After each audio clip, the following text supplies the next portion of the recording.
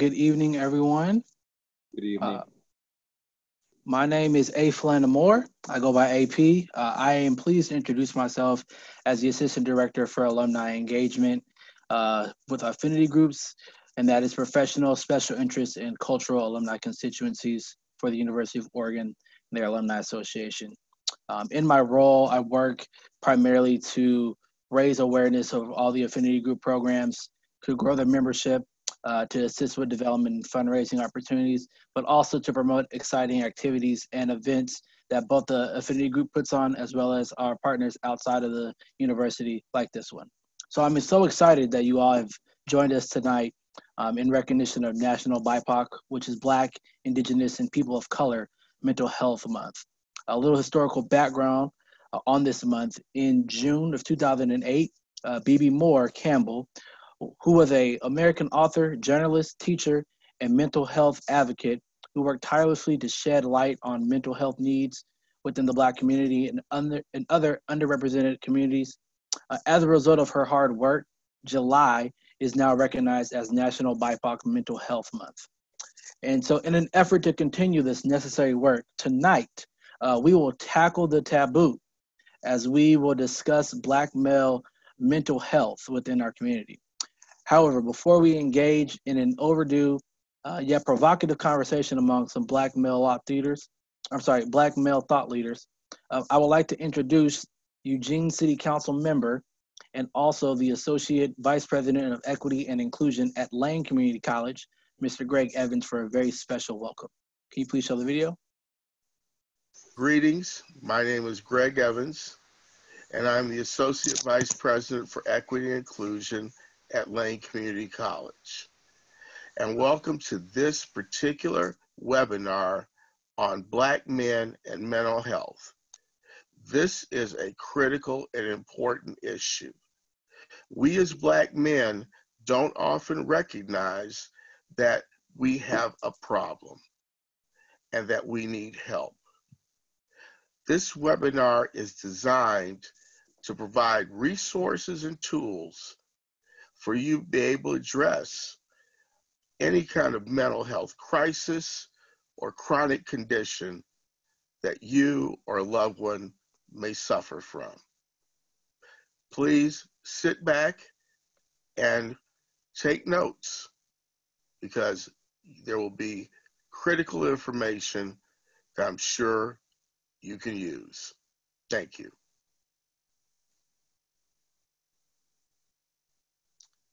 Well, thank you so much, Mr. Evans. Uh, so I would like to, we're going to get into a very quick, short documentary. Uh, it's very impactful. However, as we spoke about earlier, if you watch the montage, uh, trigger warnings are necessary. Um, this short documentary's objective is to raise awareness of depression within Black and African American males and the detriment of not addressing it, as well the benefits of treatment. So we hope that by exposing the illness in this artistic fashion that the African American community will not only be enlightened, but they will learn to recognize and seek help for themselves or for loved ones. Can you please show the video? Did you ever have thoughts of hurting yourself?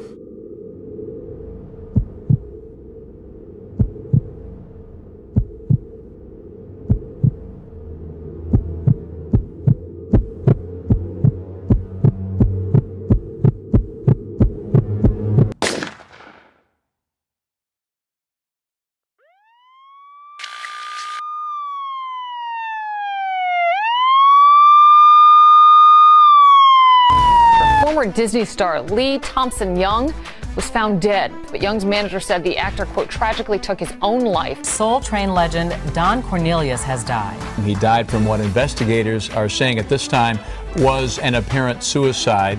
Violator Entertainment founder Chris Lighty has died at the premature age of 43. Sources are saying his death was a suicide via a gunshot wound to the head. Depression is an illness that affects more than 14 million Americans. But black Americans seek help for depression far less often than whites do. For black men, sometimes it's the stigma of mental illness that prevents them from being open about their struggle with depression. Depression. Depression. Depression. Depression. Depression. I mean, it, we're saying that black men are five times more likely than black women are to commit suicide. So, I mean, there's a real problem going on, and still we're not we're not addressing it. There's a real need for the conversation to begin. I mean, black men increasingly over time have actually been more successful at committing suicide than women. Women tend to attempt suicide using more passive measures. Men tend to actually commit suicide using more aggressive measures. So, in an instance where a man is contemplating suicide, five to one, he's going to actually commit suicide.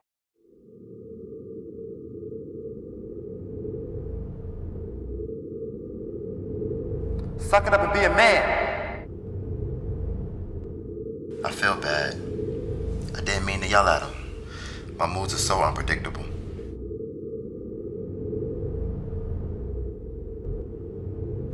Sad. So when was the first time you knew you knew that you were depressed? Iman had to fend for Iman.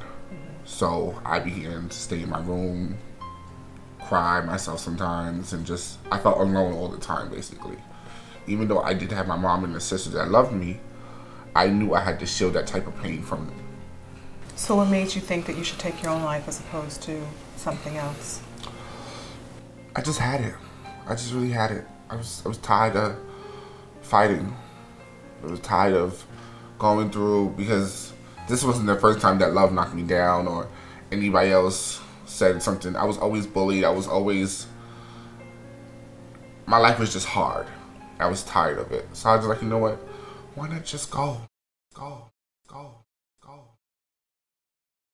So we expect our black boys and black men to be angry, but we don't expect them to be sad or depressed or even to have days where they just typically feel blue.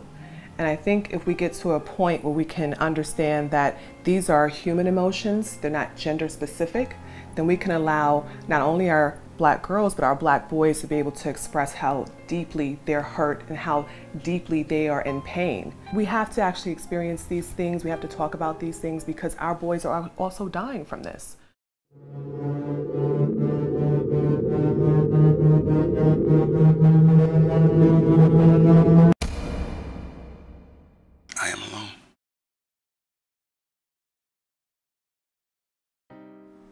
Everything feels so pointless.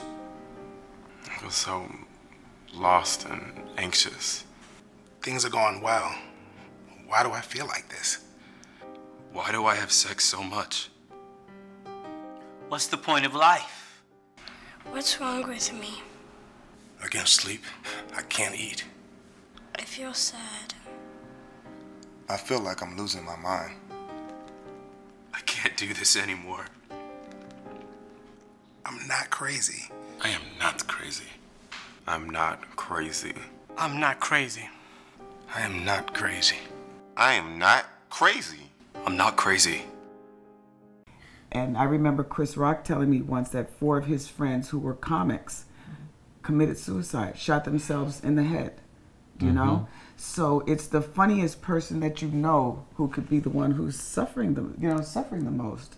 So we have to be aware that when we talk about depression, it's not just about having sleep issues, appetite issues, being sad all the time.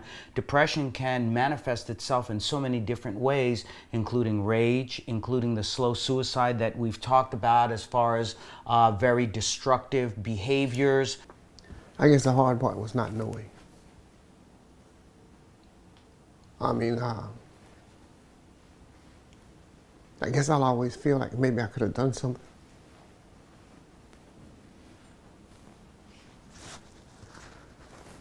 But I didn't have a clue. Okay. Um, if that didn't at least get something going inside of you, I'm sure that our panelists and the conversation today will. Um, and so for that, um, I do want to go ahead and take this time to introduce our moderator for the night. Uh, he's the man who is behind this event. Uh, he's the current Black African American Student Program Coordinator and faculty member, as well as being the founder of GRIOT, Greatness Rediscovered in Our Time Mentoring Organization. Uh, without further ado, uh, that is Dr. Lawrence A. Rashid, um, and he will be the moderator for tonight, uh, along with the other esteemed panel. I do want to remind the panelists uh, that for our answers, please try to limit yourself to about a five minute answer. Uh, so with that, Dr. Rashid, will you please take it away? Sure. Thank you, AP, doing an outstanding job being our MC. Um, man, this is just an outstanding event. Um, humbled to be the moderator. Um, before we get into the discussion, um, I think I'll be remiss. Um, one of our students at Lane uh, Community College was unfortunately involved in an incident that occurred, I believe, yesterday in Springfield. So we wish the best for that um, young man, one of our BSU students. So we wish him well, and I'm pretty sure investigations are taking place, but we wish him and his family well during this time. Um, again, I mean, this these are things we deal with as Black males. Um, and again, I don't want to just, you know, go over that like it's just not important, but um, I, I do want to get to the heart of it. And I think this speaks to what we're here for today. So with that being said, thank you, gentlemen. Um, please, um, again, I, I, just, I'm just overwhelmed. So let's get into it. Um, what I would like to do first is to have you do two things. Um, I would like to have you do a self introduction because I think you can do it better than I can. Um, and I also would like you to, if you would, reflect on what you saw in that short, um, if you want to. Um, again, feel free to not to if it triggers some type of emotions. But um, again, I would like for you to share um, you know, your experience, your background, what you do currently, and also a, a quick reflection on the video as it pertains to um, African American Black mental um, health concerns, Black male mental health concerns. And we'll start off with um, Mr. Um, Cornelius Johnson. You gotta unmute yourself, brother.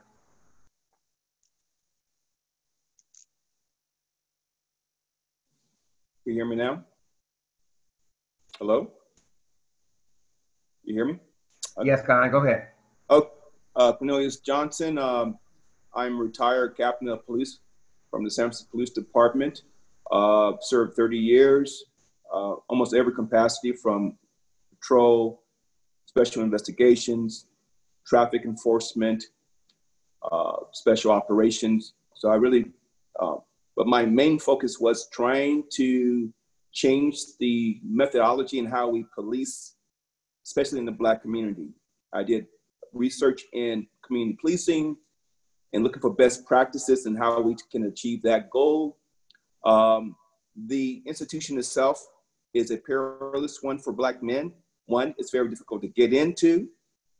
And two, it's very difficult to achieve those positions of power and authority in order to influence policy. Um, my road to the top was a difficult one. And I'm going to try to incorporate that because I think it's a, it's a microcosm of society overall we are in institutions that we are beholden to uh, for our livelihood, and sometimes speaking our blackness can result in adverse consequences. So that's where I'm coming from tonight. Thank you. I enjoyed being on the panel tonight. And Dr. Rashid, thank you for inviting me. Secondly, my reflection on what I saw earlier, it's real. I think one of the things that we have as Black men is machismo. How do we maintain? We associate our blackness to being tough, being able to handle it, be able to hold it down, uh, and any signs of weakness, such as crying or any display of emotions, can be um, a bad taboo, if you will. Pressures from the outside, or peer groups, and so the the montage really reflect on what we all have to struggle with. How do we now become a supporting cast? How do we now begin to identify young brothers, men in general, for instance, of all ages, and seek to give them the support necessary to get through hard times? Uh, hard times is nothing new. We all go through it. It's how we respond is the question. So that's that's what I reflected on. Um, and having a son of age uh, at that age now, um, I'm doing more work to keep him, his mental health uh, sturdy than I was just working in the police department. So uh, it hits home and it's real. So uh, I'm looking forward to the conversation. Thank you. Thank you, Khan. Um, let me go to Dr. T. Hassan. Same, same question. Okay. I'm hoping we don't all end up dealing with this unmute thing all night because I've made that mistake too many times. Uh, yes, Dr. T. Hassan Johnson. Um, I particularly, uh, I'm Africana Studies at Fresno State, um, but I was I was I was impressed by the video and I appreciated it, uh, and it definitely stirred some things. Because um, as a matter of fact, um, Mr. Lee Thompson Young um, actually reached out to me um, he was doing a, he was kind of studying different spiritualities or he was looking into one and he had called me about uh, school of thought i'm engaged in and i just referred him to some other people and i i don't know if he ever managed to reach them but one of the things that that hurt me after i found out he passed because i went to school with his mother was that um, i didn't take the opportunity to actually engage him i just thought let me send him to somebody who can probably answer his questions but you never know when one word may be helpful. You know, one word may be something that could have really, you know, you never really know. And so, you know, one of the things that hurt me when he passes, I didn't take the opportunity to actually engage him and, and, you know, you never know what could have happened. So that said, um, uh, that was a very powerful piece. As far as, as the overall issue in regard to black males and mental health, one of the things I, I, I put forward is that there's also a pressure that we grapple with uh, in regard to social expectation. Because the particular history we have in this country, the perception of us, both by you know white society, by mainstream culture, but even in some respects, uh, you know, internal to the, the black community itself, there is this prevailing idea that black men, black masculinity, and and and hyper masculinity are synonymous. You know, we are these kind of you know John Henry figures that, that have to be able to endure whatever. Um, at the expense of our own humanity, as a matter of fact. And if we can't, uh, that we feel will be thrown away. And in some respects, we've seen that happen with various people.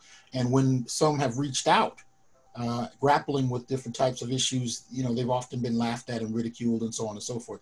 So um, I appreciate this panel and I appreciate this discussion because it, it, I hope it lends itself to normalizing Black men reaching out for support and and readily receiving it, but not being mocked when they when they extend a hand for it. So I'll just leave it there for the time being, and we'll engage a little more later. Absolutely, thank you, um, Dr. T. Hassan mm-hmm. Johnson. And let me go to um, Professor Harris. And we could just all leave our our, our un, we could leave it off mute so we could just easily get to it. Halito Gamshilakwan. Halito is uh, greetings from the Choctaw Nation. Gamshilakawan is from the Kalapuya Nation, which Lane Community College is on. And Hotep, which is peace in ancient Kemetian, which you know as Egypt. I'm making that reference because I believe that the sources of Black mental health have to go back to before we were brought here as slaves to when we first came here because we were pyramid builders and we were trading with the pyramid builders here on Turtle Island. So to define ourselves, as Du Bois talks about, by a tape that is too short, that doesn't encompass our soul, is problematic. Um, so I'm an addictions therapist, a mental health therapist, coming out of um, a black psychology framework which recognized that racism exists. It can be taxonomized. It has many, many manifestations, and history is part of the healing, but also activism is part of the healing and making your life matter. So I'm really glad to be part of this historical event. Thank you. Thank you, Professor Harris. Um, let me get to my brother from another mother. Please don't make me laugh. Uh, Dr. Lamont Francis.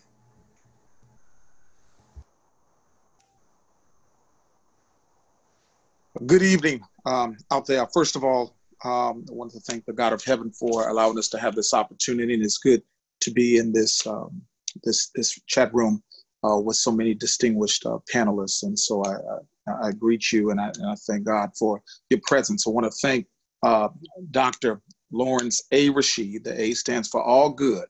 Amen. And we are so thankful that he has put this thing together. First, I just want to uh, just briefly introduce myself. I'm Dr. Lamont Francis. I've uh, been a senior minister uh, for 17 years. Uh, now this is my 17th year. I started young. Um, I've been an educator um, in the uh, public schools and mostly urban schools for now 20 uh, years, serving as a counselor, a teacher at all three levels, and also an administrator. Um, I'm also an adjunct professor of sociology, um, uh, and I've been doing that for the last 10 years. Um, I want to go ahead and just uh, briefly say that the um, the, the, the video was uh, powerful um, uh, because it, it, it brought out a lot of uh, raw emotions. Um, I think um, uh, just echoing what I've heard um, said earlier, it addresses. I think the the the root of the problem is racism. When you talk about black mental mental health issues, right? Uh, racism is prejudice plus power.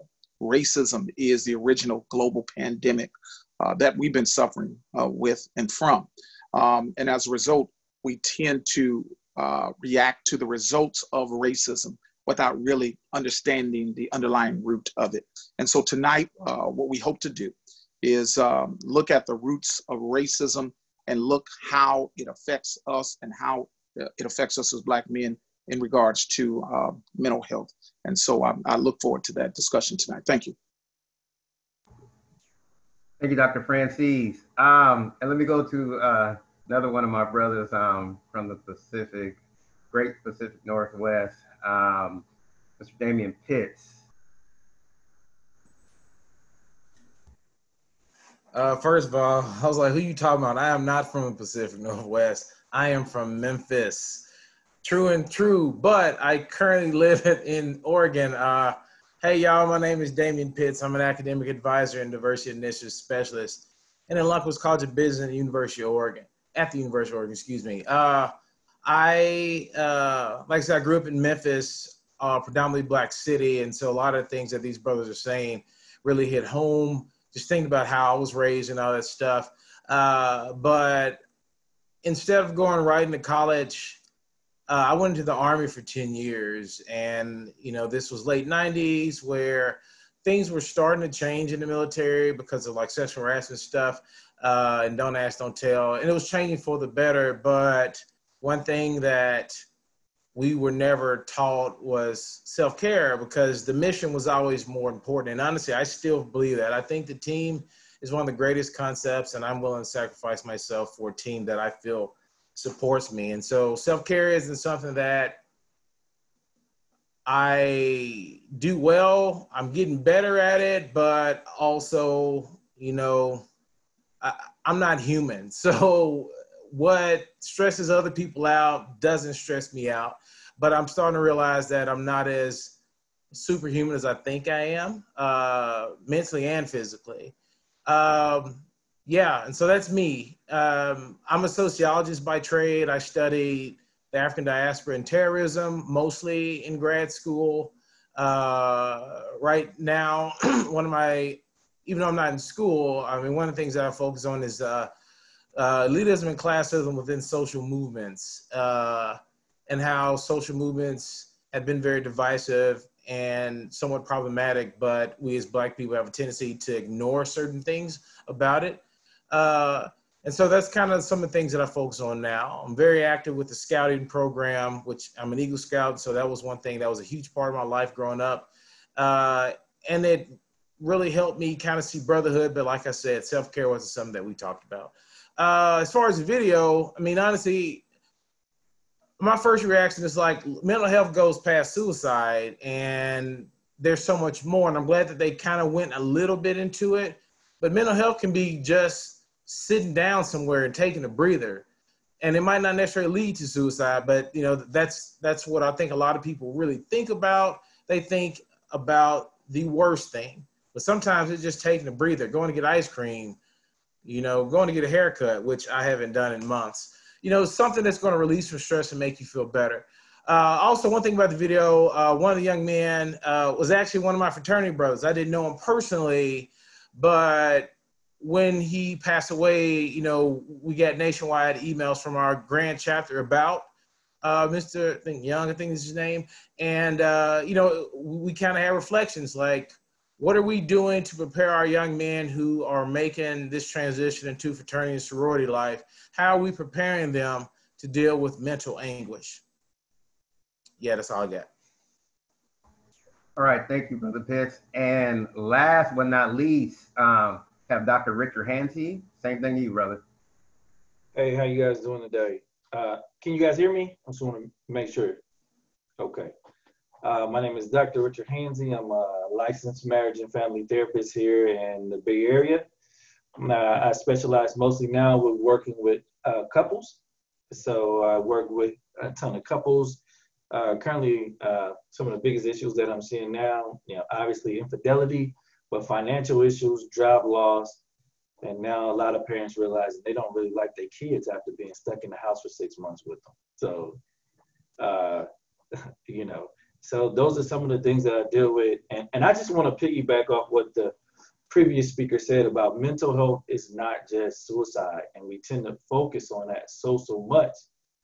Um, but there's a lot of, especially in the African American community, undiagnosed trauma, right?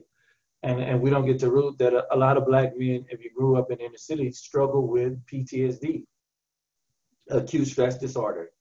Uh, if they've been to prison, uh, you know, there's massive anxiety and depression coming out of prison, as well as health issues. So it, it's such a deeper uh, issue than we like to talk about because, again, I'm gonna fall back on what Brother Khan said is we struggle with machismo, right? We don't like to ask for help. We don't like to show that we're weak in any type of way. And in our efforts, we die young. So, you know, my goal is to get the awareness out for we need more African American uh, providers, first of all, that's male, but we also need more of our brothers to come and seek help and, and, and, and not to be criticized for it. You know, some of my uh, early experiences as a as a young black man is that often the, the kid that was cool but not academically strong was popular, and the kid that was academically strong was teased and picked on and bullied for being intelligent and thoughtful. And we got to start to change those narratives as we want to see the gains that we need to see as far as uh, African American male providers and allowing African American males to seek help. So that's what I'm to want to get the word out and the message with. Okay. And, and the video again was very powerful. Thank you, Dr. Hanson. I didn't mean to cut you off, brother. I wanted to make sure. Okay, so now here's here's the fun part for me at least. Um, so I get to ask you, you brothers a couple of questions, and um, again, being considerate of the time, and I know I loaded you guys up, uh, you brothers up with some doozies, but I know all you can handle it. So I want to start with um, Professor Harris, you know, my mentor, my my jigger. So the first question I have for you, sir, is um, with the proliferation of the cannabis industry, what are the ways in which this proliferation of cannabis has impacted Black males' mental health? you would give the drug counselor that question. All right, can I share screen? Can you enable me to share screen or should I just wing it? Um, we'll see if the host could give you the, those permissions. Let's see if we. You did say do it, do it. Okay. Yeah, I actually had that answer. So let's see here. Well, basically, I, w- I will wing it. so basically, with um, I'm an addictions counselor, and I'm also um, a Native American as well as an African practitioner. So cannabis has been part of our pharmacology for easily 5,000 years. Um, that isn't so much the problem. Um, like Michael Franti of uh, the band Spearhead once uh, observed, the Buddha, meaning cannabis, elevates the stress off the chest, but could never elevate the boot off the ghetto necks. So part of what that means is yes, it's a good stress reducer if you don't know any other skill or technique to reduce the stress of racism, daily life, all the pressures that uh, are part of our existence. But from a native perspective, yes, the little smoke marijuana does open up your vision initially, but if you use it too much, it clouds your vision. Then we also have to look at the fact that the drug laws in this country um, and other countries that we have been involved with, like South Africa, Uh, South Africa took a lot of its apartheid laws from Jim Crow, and they associated dagga, as they called it, with revolutionary freedom movements and banned its use. And when cannabis was legal up until 1930s, and when it was made illegal, it wasn't because of a public health problem. It was made illegal, and I quote Harry uh, Anslinger. He said, testified before Congress and said, coloreds with big lips induce white women to have sex with them using jazz music and marijuana. And that led to the passage of the Marijuana Tax Act, which actually didn't make marijuana illegal. It just taxed all the 32 different products, including anti cancer and other types of drugs, and made those illegal. And that kind of paved the way for other people to basically make the drug illegal. So that, for example, when my drug prevention field, when you have two Republicans using the same joke six months apart. And they're saying, when I was in high school, the only people that used drugs were jazz musicians and people south of the border. And I'm a jazz musician, so that's a code for black people and Mexicans. Wait, there's no Mexicans in Medford in the time that you're in, you know, high school. So when we look at the cannabis industry, where lots of people have been incarcerated because of their drug sales, and then when it was made illegal, lots of white people make money from it, and then the way, the path to that economic um, opportunity is barred to black people largely because of drug convictions, even though black people at one point only have never exceeded their proportion in the population in terms of the drug use. The majority of drug users remain white people.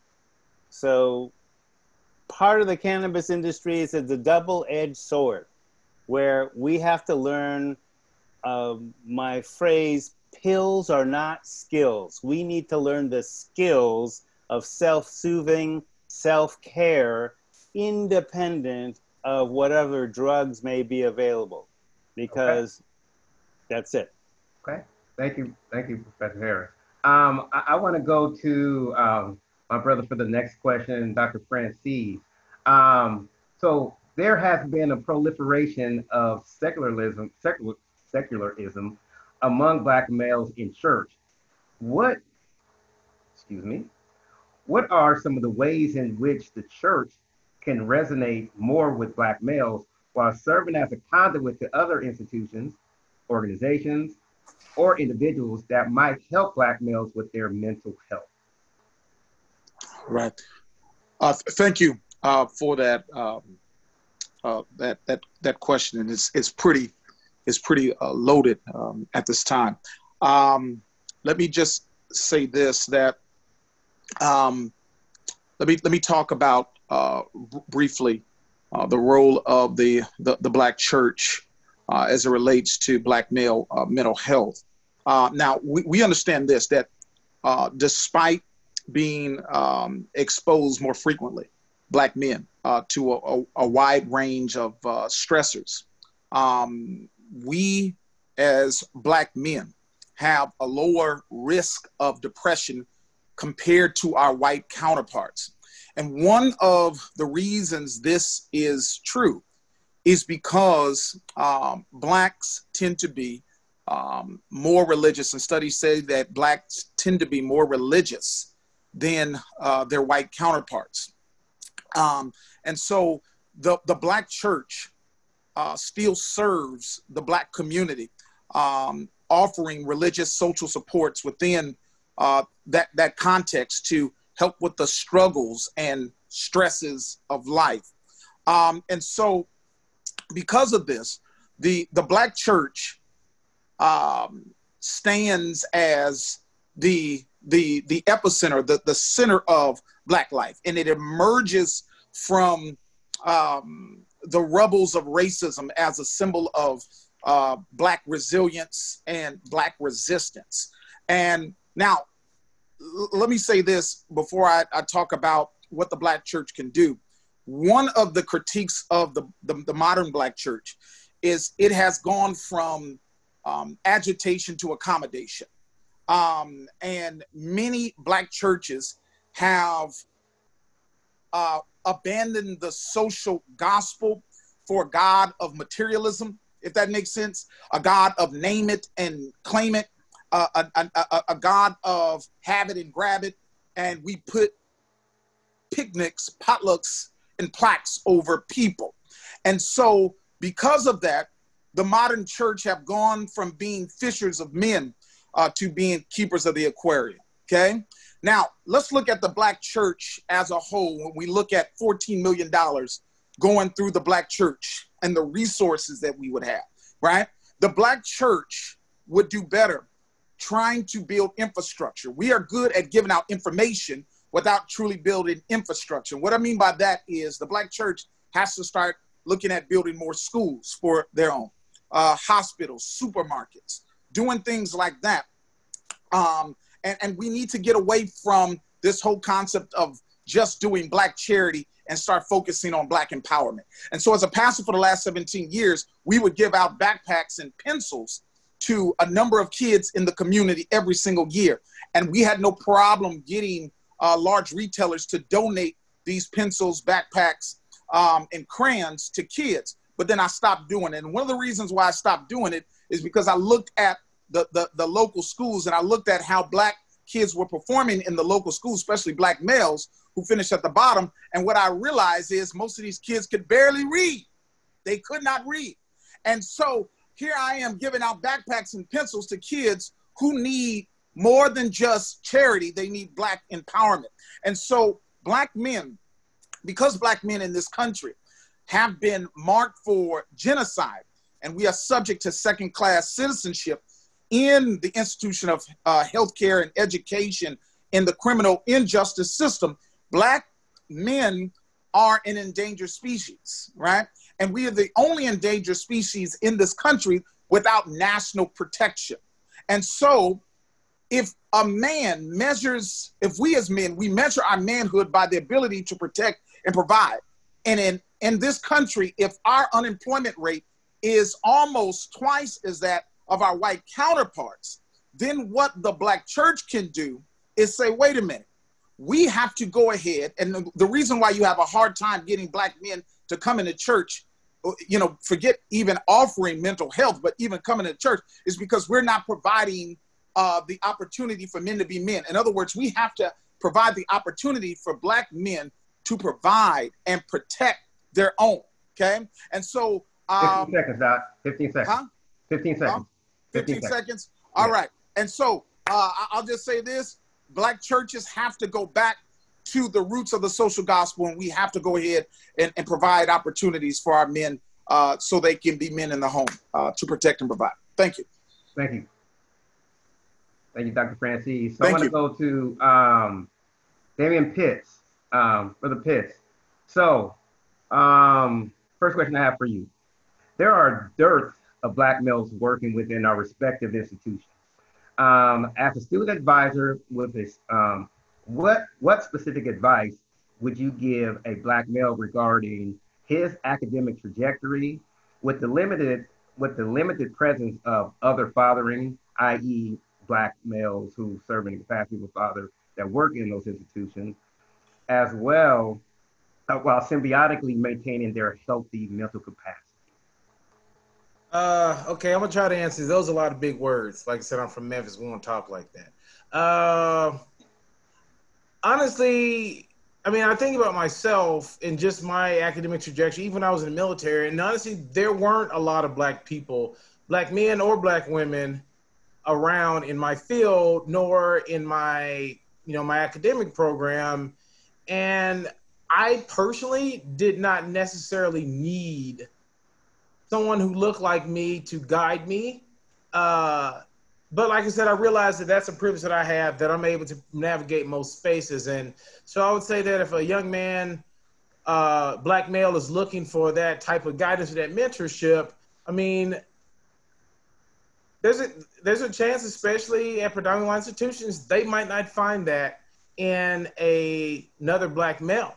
And even if there is another black male there, they might not be that person to provide guidance. And so, from an academic perspective, like these people who work on these institutions at these institutions are hired to help you. All right, like that's their job. That's what they're getting paid for. And it really should not matter what your skin tone, what your sexuality, or what uh, your gender is.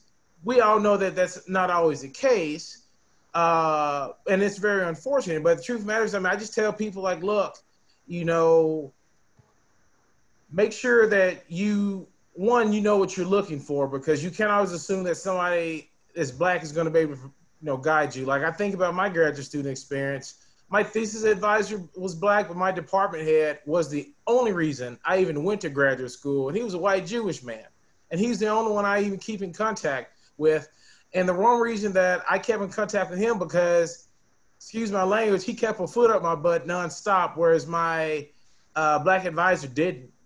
Uh, and so that might not be what some of you want to hear, but I also I really don't think that, uh, especially in higher education, especially at the University of Oregon, they might not find that mentor who looks just like them, but they can definitely find that mentor, and then maybe that you know, me or somebody else could be just that person to check in on them, to talk about what it's like to be black.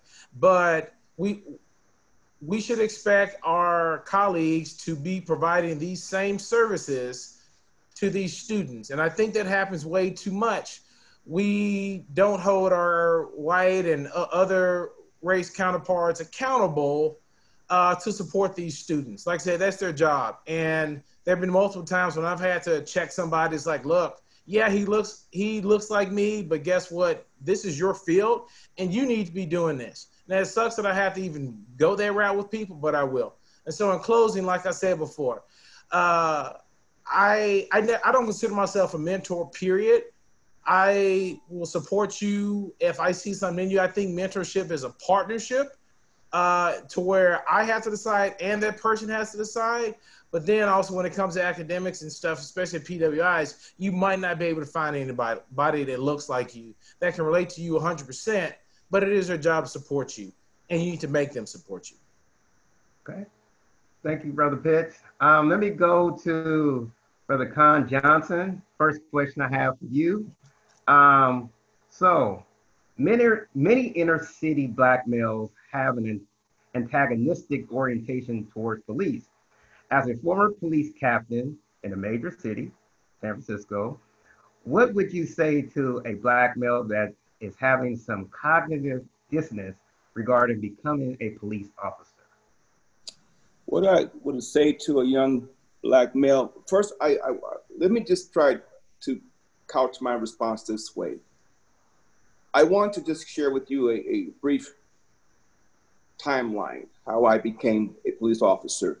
And I want to see we all can relate. Growing up black in inner city San Francisco, at a time where the relationship between law enforcement and the black community, as is it did today, was strained and angst. I hated the police. I was a victim of police brutality at the age of 14 when I had long Lord Jesus. Some of you guys want to know about no Lord Jesus. and out there just being myself, a bunch of kids hanging out, and I was got my butt kicked by a police officer. So not only did it was reinforced by the action of law enforcement, a police officer whooping my butt, it also planted the seed of disdain for law enforcement. As time went on, I was very fortunate to have a supporting cast to show me there was a difference between that particular officer there and how law enforcement function overall. So we have to be very mindful how law enforcement and police officers are perceived in the black community. For a lot of black males, we have to recognize that that feeling of antagonistic attitude toward, toward law enforcement, that hatred, that disdain is real. And so we have to acknowledge that feelings to the point where we can try to give a counterbalance to it. For instance, one of the things I think we can do as, as stewards and trying to give guidance to young men. And, and, by the way, this is not just about trying to become a police officer. The same process should be applied to trying to become a doctor or a lawyer because the position that I take is applied to any position you want to achieve. We just so happen to be talking about police officer, becoming a police officer. One, I think it was very important to meet young black men where they're at. They are in the hood. And a lot of times we got this romanticism that somehow they can pull themselves up by their bootstraps if only if they can get into a good program, for instance, or get a mentor. I think the brother spoke about that earlier. That's not always the case. I think by and large, we have to be able to acknowledge the fact that those resources, that pathway is very murky, if you will. So the first thing we have to do is pretty much start to work with young black men where they at in the hood. That means that you got to be able to give them alternatives. You have to be able to show them different viewpoints. For instance, how I used to work in the hood, the, the, the ghetto, if you will, and I asked young black men how many of them saw a deer or been to the, the redwoods or saw snow or been to Treasure Island. And none of them said no. So our black men, our young boys live on an island. We have to find a way to expand that island so we can expand their mind. Everything that we do first starts with a perception in our mind. How we feel, how we think starts in the mind. So we got to get in terms of our mental health, we got to meet young brothers where they're at, give them those tools of trying to expand their experiences other than being drug dealers, being exposed to violence on a continuous basis, being in poor environments where the only thing you can get is some bad food from the grocery store if you have one. We got to begin to start to counter those environmental factors that's going to create a negative perspective perspective of law enforcement. The, the second thing I would say that we have to do, we have to be consistent. Too often than not, we just come out, show up in a program, and then ab- abort the mission. And then we begin to, that young boy sees us not committed to him. And if we are not committed to that young boy, why should he be committed to trying to become a doctor or a lawyer or a police officer? So we got to ask black men, especially, and I do, I wanted to say something. It is important that a child see his reflection. It is important for that child to have that bond between man and boy because it's us. We have the awesome responsibility to be able to make sure and navigate that boy from boyhood to manhood. And if we can't identify that young man and make a connection to him so he can understand that I am his reflection and he is mine, then we can't be begin to talk about how to become a police officer. The third thing is we got to make sure for me. Got 30 seconds, brother. 30 seconds. That we got to change that not all police officers are bad, just like not all black men are gangsters or thugs. So in those three areas there, I think that becomes the way and methodology in terms of changing the attitude about law enforcement for young black men and making them more positive in their interaction. Okay. All right. Thank you, Brother Khan. So now this is a really loaded question that I have for this next to are heavy. So I'm going to um, Dr. Hansey. Um, and so I'm I'm setting this up with a quote from um, Dr. Robert Staples' um, work from Males in Males in American Society back in 1982. And when I read this, I think you'll you might ask, did he write this in 2020? Um, but let me set up the question and let me go into um, this. And again, this is um, for um, Dr. Richard Hansey. So the problems Black men and women have in their relationship often are shaped by external forces. Many have been unable to form monogamous family due to structural impediments. In society where money is the measure of the man, many black males are excluded as potential mates because, because they lack the economic wherewithal to support a family in a reasonable manner. Given the traditional role definitions for a woman, definitions internalized by Black males, the highly educated Black woman finds herself victimized by the fact that she has a higher educational and income level than most of the Black men in her pool of eligibility. Um, again, that's from Dr. Robert Staples, um, Males in African Males in American Society. So the question, based on the aforementioned, how would you suggest that Black males go about marriage when they're often in a high um, hypo- hypogamous? That means they are not making as much money as the sister is, right? How can they go about? Um, how should they go about um, marriage when they're in that predicament? Man, that, that is a loaded question. You know that, though, right? I know you can handle it, brother. You got two PhDs. All right. All right. So so let's go. I want to go back to the question itself. And and the statement that you made was victimized. All right. Ugh. Victimized. Uh, so so it's basically the simple the simple answer to that question is that the African American male marries a woman that makes less money than him or makes money at his same level, right? If that's if that's if that's the standard for them to get married. But so you're basically saying that for African American women to achieve a level of success is either you got to choose between success or marriage, and that, that's not right, right? Your partner is based on a set of standards. I, I think the biggest problem is this. So so it's what standard the woman or man set for themselves. So if, if I'm a if I'm an African American woman that makes over hundred and twenty thousand dollars a year, and say and, and this and this and also the biggest point, this question is very very regional. Okay, we're talking about the San Francisco Bay Area. It's probably one of the third or fourth highest places in America to live.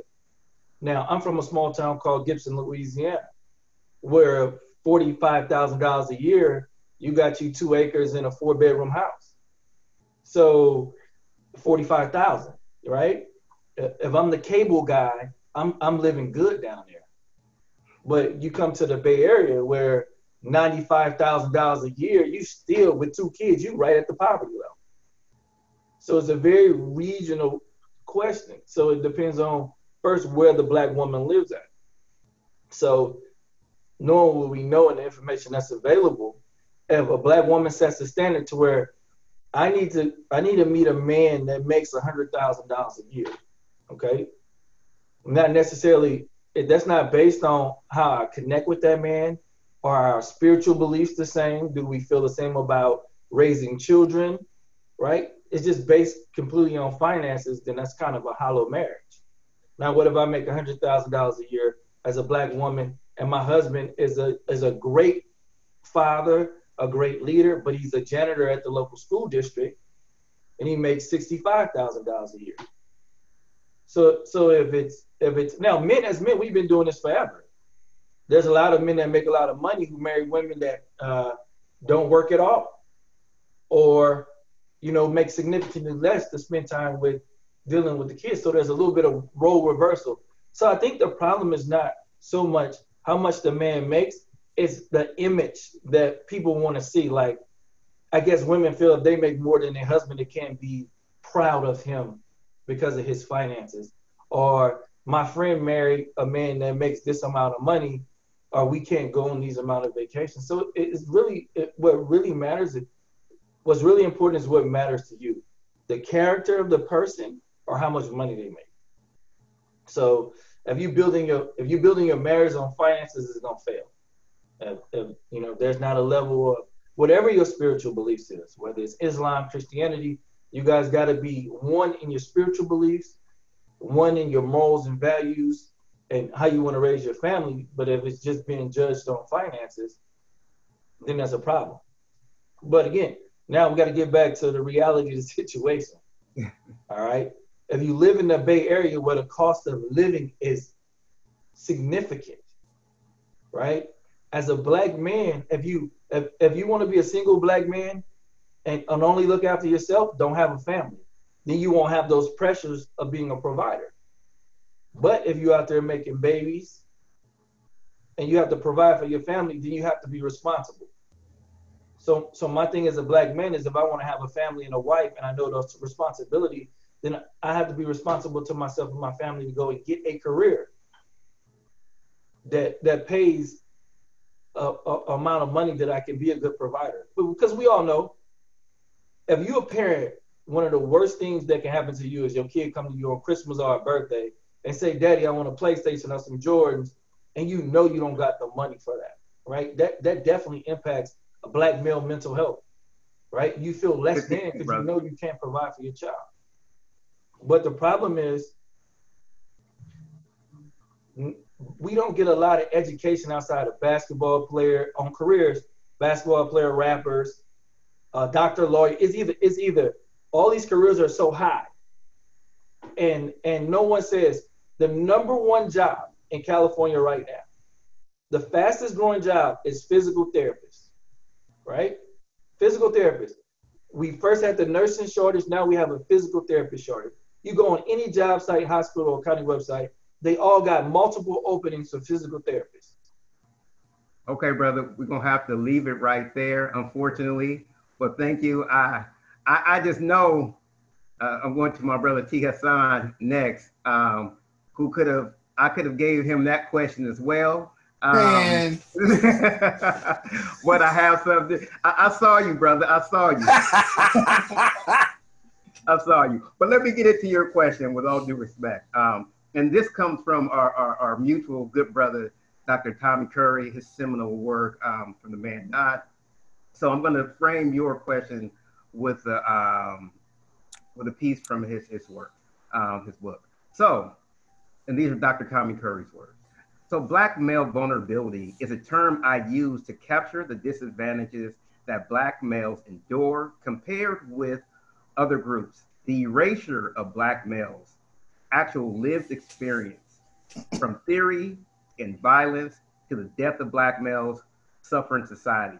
The term is not meant to simply express the material disadvantages black males face due to incarceration, unemployment, police brutality, homicide, domestic, and sexual abuse throughout society, or their victimhood. The term is also meant to express the vulnerable conditions, the sheer fungibility of the black male as living in terror, able to able to be killed, raped, or de, or, dehum, dehumanized at any moment, given the disposition of those who encounter him. All right, again, that's from uh, our brother Dr. Curry, the Man-Not. So, um, so Dr. Hassan, could you deconstruct the ways in which black males can engage in some good vulnerabilities um, that may ameliorate their mental health? Well, I, I, think there's a couple ways to answer the question, and on a number of levels. Uh, first, I think uh, grappling and accepting vulnerability in and of itself, despite uh, what can be even hostility in the, in the social environment in, in terms of doing so. So, accepting vulnerability to the degree that you're willing to express even that which no one wants to hear, right?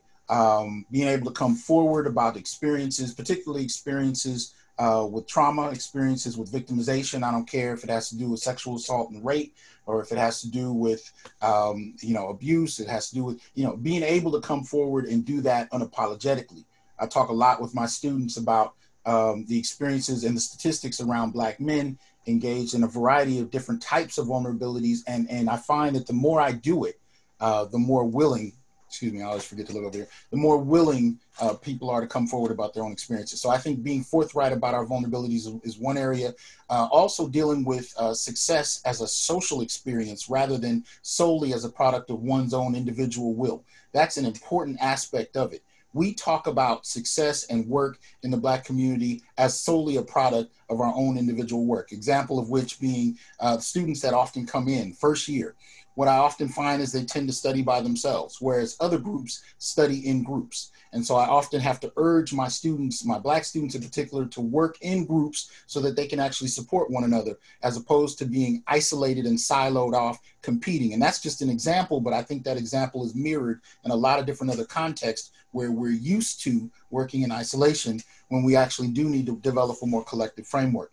Another area is, I would say, to challenge gaslighting, meaning there are very real structures, barriers, and issues that Black men in particular face to degrees that other groups, even within the Black community, don't face. And we're often told that they don't exist. We're often told that we're imagining things. It's a very real type of gaslighting that tends to take place that we have to challenge about what we're really grappling with and to what extent it impacts us. So when we talk about, for example, the, the issue you just raised about, you know, marriage and the issue you raised about, you know, income and so on and so forth, prior to the, the pandemic, in 30 major cities, black males found themselves unemployed to 40 and 50 to degrees of 40 and 50 percent, right? That's prior to the, the pandemic. And we know by February, half of black America lost their jobs. And in the, in the last month, half of America lost their jobs. So where does that place black men at the bottom of that pile? So if we're going to have these discussions and we're going to, you know, talk very gingerly about victimization, but we're not really going to get into the real world barriers that black men face, then it's it's uh, it's going to be a difficult conversation to have that doesn't grasp the reality of the black male experience. Also, um, acquiescing to the, the, the barriers as they pertain to media, the barriers as they pertain to academic theory. These things directly impact black males. So whether you want to talk about um, media, like I think just this last couple weeks, there was a film came out on on Netflix by Nia Long and Omar Epps called Fatal Affair, where yet yet again pictures black men, positions black men as these you know, uh, killers, murderers, rapists, so on, kind of thing. You know, stalking people and so on and so. Despite that, you know, in many instances, the data points to black men as actually being more progressive than other groups, particularly other groups of men, alongside being good fathers and so on and so forth. So the, there's in the data itself, there's plenty that shows that black men are actually on the other end of the spectrum, but we constantly have this repeating stream of stereotyping that goes on, and the stereotypes themselves have really not changed in any substantive way since the 19th century. And we're still grappling with these ideas, and they're still being propagated in popular media. But they're also being propagated in academia and even in activism, right? If you look at the works like, uh, I think it's Ijeoma Oluo's book, uh, So You Want to Talk About Race, she actively talks about silencing men of color.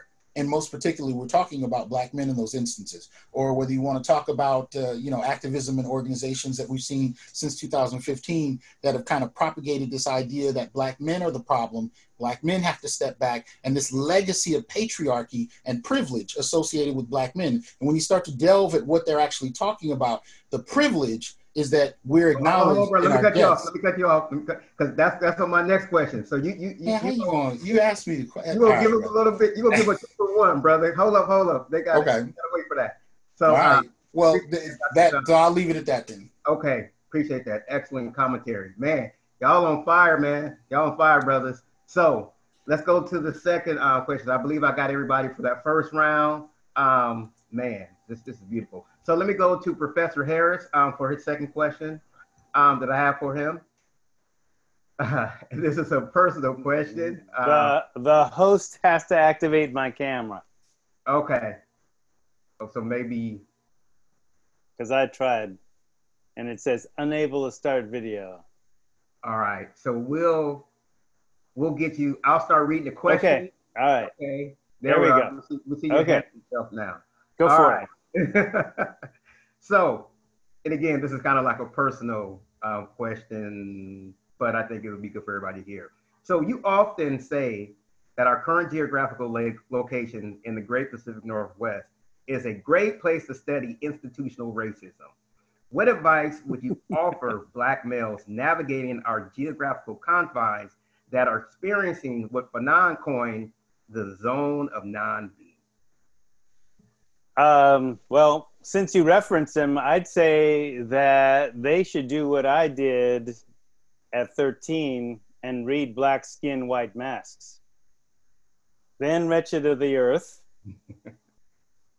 and uh, finish off, especially if they're college age, but even if they're high school age, with Derek Bell's uh, Faces at the Bottom of the Well, The Space Traders, any number of books. So the zone of non-being from uh, Black Skin, White Mask is simply is you enter majority white space, and it's a zone that doesn't see you at all. It's like you, the, like Ellison's Invisible Man, or sees you as a danger unless you put on a mask and talk white or whatever and speak in a white voice uh, that conveys safety for them and doesn't necessarily challenge white supremacy if they see you at all. So, talking about race, talking about issues of inequity, uh, doing what John Lewis did all his life and other people did all their life.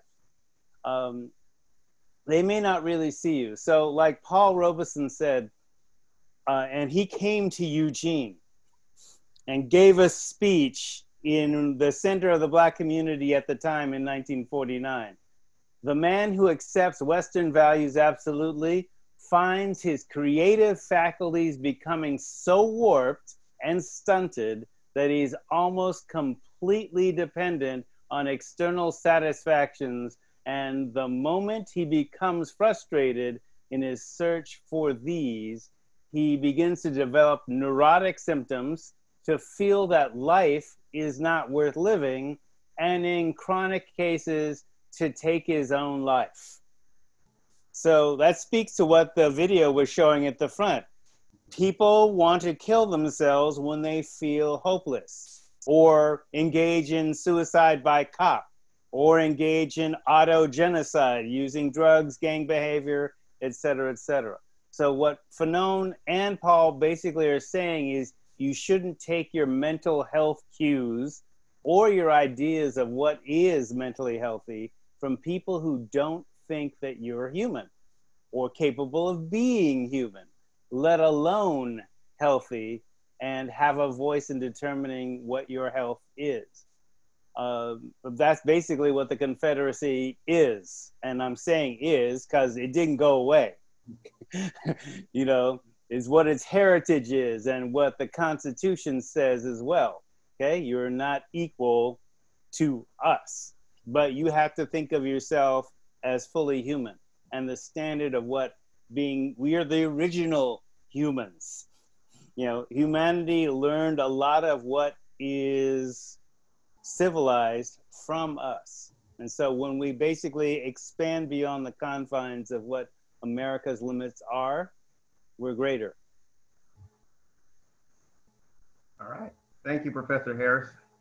All right, let me go to Dr. Francis for, um, actually, it's essentially your third question, but um, so as a Black pastor and a Black um, administrator, which dynamic of Black male mental health do you feel receives the least amount of attention and why? And what can be done to ensure that this dynamic is readily addressed as it pertains to the amelioration of Black males and mental health. Okay, real quick, because I, I know I don't want to run out of time. Um, just continuing from what I was talking about the, the, the last time about uh, the, the Black church and mental health, and then I'm going to address your question in a second. Um, there are a lot of Black men that attend uh, churches that don't attend churches that feel spiritually incarcerated because you have a lot of mega churches with a minor touch, and they're not really touching the black men where they need to be touched. Okay. And so we have a lot of black churches who are spiritually trying to get people ready for heaven while you have a lot of people down here experiencing hell. Right. And so, so black churches have to go from begging to building and really start building infrastructure for their, their people. Now, if you look at the three components to uh, mental health, uh, emotional well-being, psychological, and social well-being. I would say psychological uh, well-being is the one, the, the part that is least neglected um, in schools and also the churches. And the reason why I say that is because psychological hurt is easy to hide, right?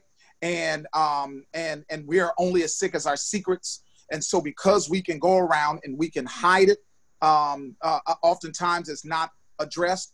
Let me let me let me do this. Um, let, us go to church for the next few moments. In um in in in in First Samuel chapter 19, there was a man by the name of Saul. Saul was a man that stood head and shoulders above everybody, very handsome individual. Um, but he was not the man he used to be. And there was a young man coming up uh, by him by the name of David. And Saul, the reason why I, I talked about Saul is because Saul had some mental health issues that were undiagnosed. He was not the man he used to be. And because as black men, our value is was, was historically tied to our physical prowess or our physical output, and he could no longer produce, he felt less valued. And so he recruits David to play the harp, but here is Saul sitting on the throne with a spear. Okay. And so here he is in the most guarded place around loved one, yet he's still always in fight mode. Right. And, and, and, and unfortunately, because his, he, he did not have the proper diagnosis, right. Um, here he is always ready to fight. Right. Now we know by the end of his life, he, he finds himself in battle and he is wounded by arrows. Okay. And once he realizes he is fatally wounded, then he throws himself on his own sword and he commits suicide, right? Now, before he does that, he is critically wounded by arrows, which which means that is damage done from a distance. And a lot of times, damage is done from a distance through social media, uh, through other other means where we feel like we can no longer go on. We have nowhere to to to, to go to because we have to put on this kingly persona with other people. And so he goes ahead and he throws himself on his own sword and he ends up dying. And there are so many Sauls uh, in the church, in the schools, in our society that we normally don't address. So I think it's very important that we address the, the psychological, especially in the schools. One of the ways we can do it, uh, Dr. Rashid, is to definitely get mental health for black young black men in the elementary schools where you have white females, white middle class females represent over 90% of the uh, elementary school teachers in this country. We need more people that look like us. But to, to go off of what uh, Mr. Pitt said, look, uh, you know, we just don't need black teachers just to have black teachers because all skin folk and kin folk, just because they are color, doesn't mean they're our kind. And some of the worst damage that have been done to black kids have been done by black educators. But we need black, we do need black educators that are uh, uh emotionally black, psychologically black, because blackness is more than a skin color, it's a political statement that are interested in the upliftment of our people. And, and so we need black men in those positions to start doing groups, start doing therapy, and start identifying issues at an early age um, so that um, we, we're not dealing with uh, men who are broken. We can start looking at uh, young people that, that have those issues um, and start getting mental health where it's needed. So that's I hope did I run out of time? No, you good. You, you, you oh, perfect. Right man. on time. Okay. Right on time. Excellent. Okay, so right. so but just let me let me I, I love what uh, brother Hassan said. Um, uh, that success seconds. is a social ex, uh, experience, and so we have to do what, what, we have to do is learn how to build community in uh, amongst black men. Uh, and, and like I'll leave you with the old saying. They they used to say, if you want to go faster, go alone, but if you want to go further, go together. And so we have to learn to to work and go together. Okay, appreciate that, Doc. Okay, brother. All right, let me go to Mr. Pitts. Um, so now I'm going to clarify my statement that I made earlier regarding Mr. Pitts with this question. So your roots, or we said your roots, um, stem from the South. In the South, Black fraternal organizations are pretty much the norm. However, here in the Great Pacific Northwest, there are not an abundance of Black fraternal organizations. What would you convey to a black male that is frustrated about the lack of fraternal organization?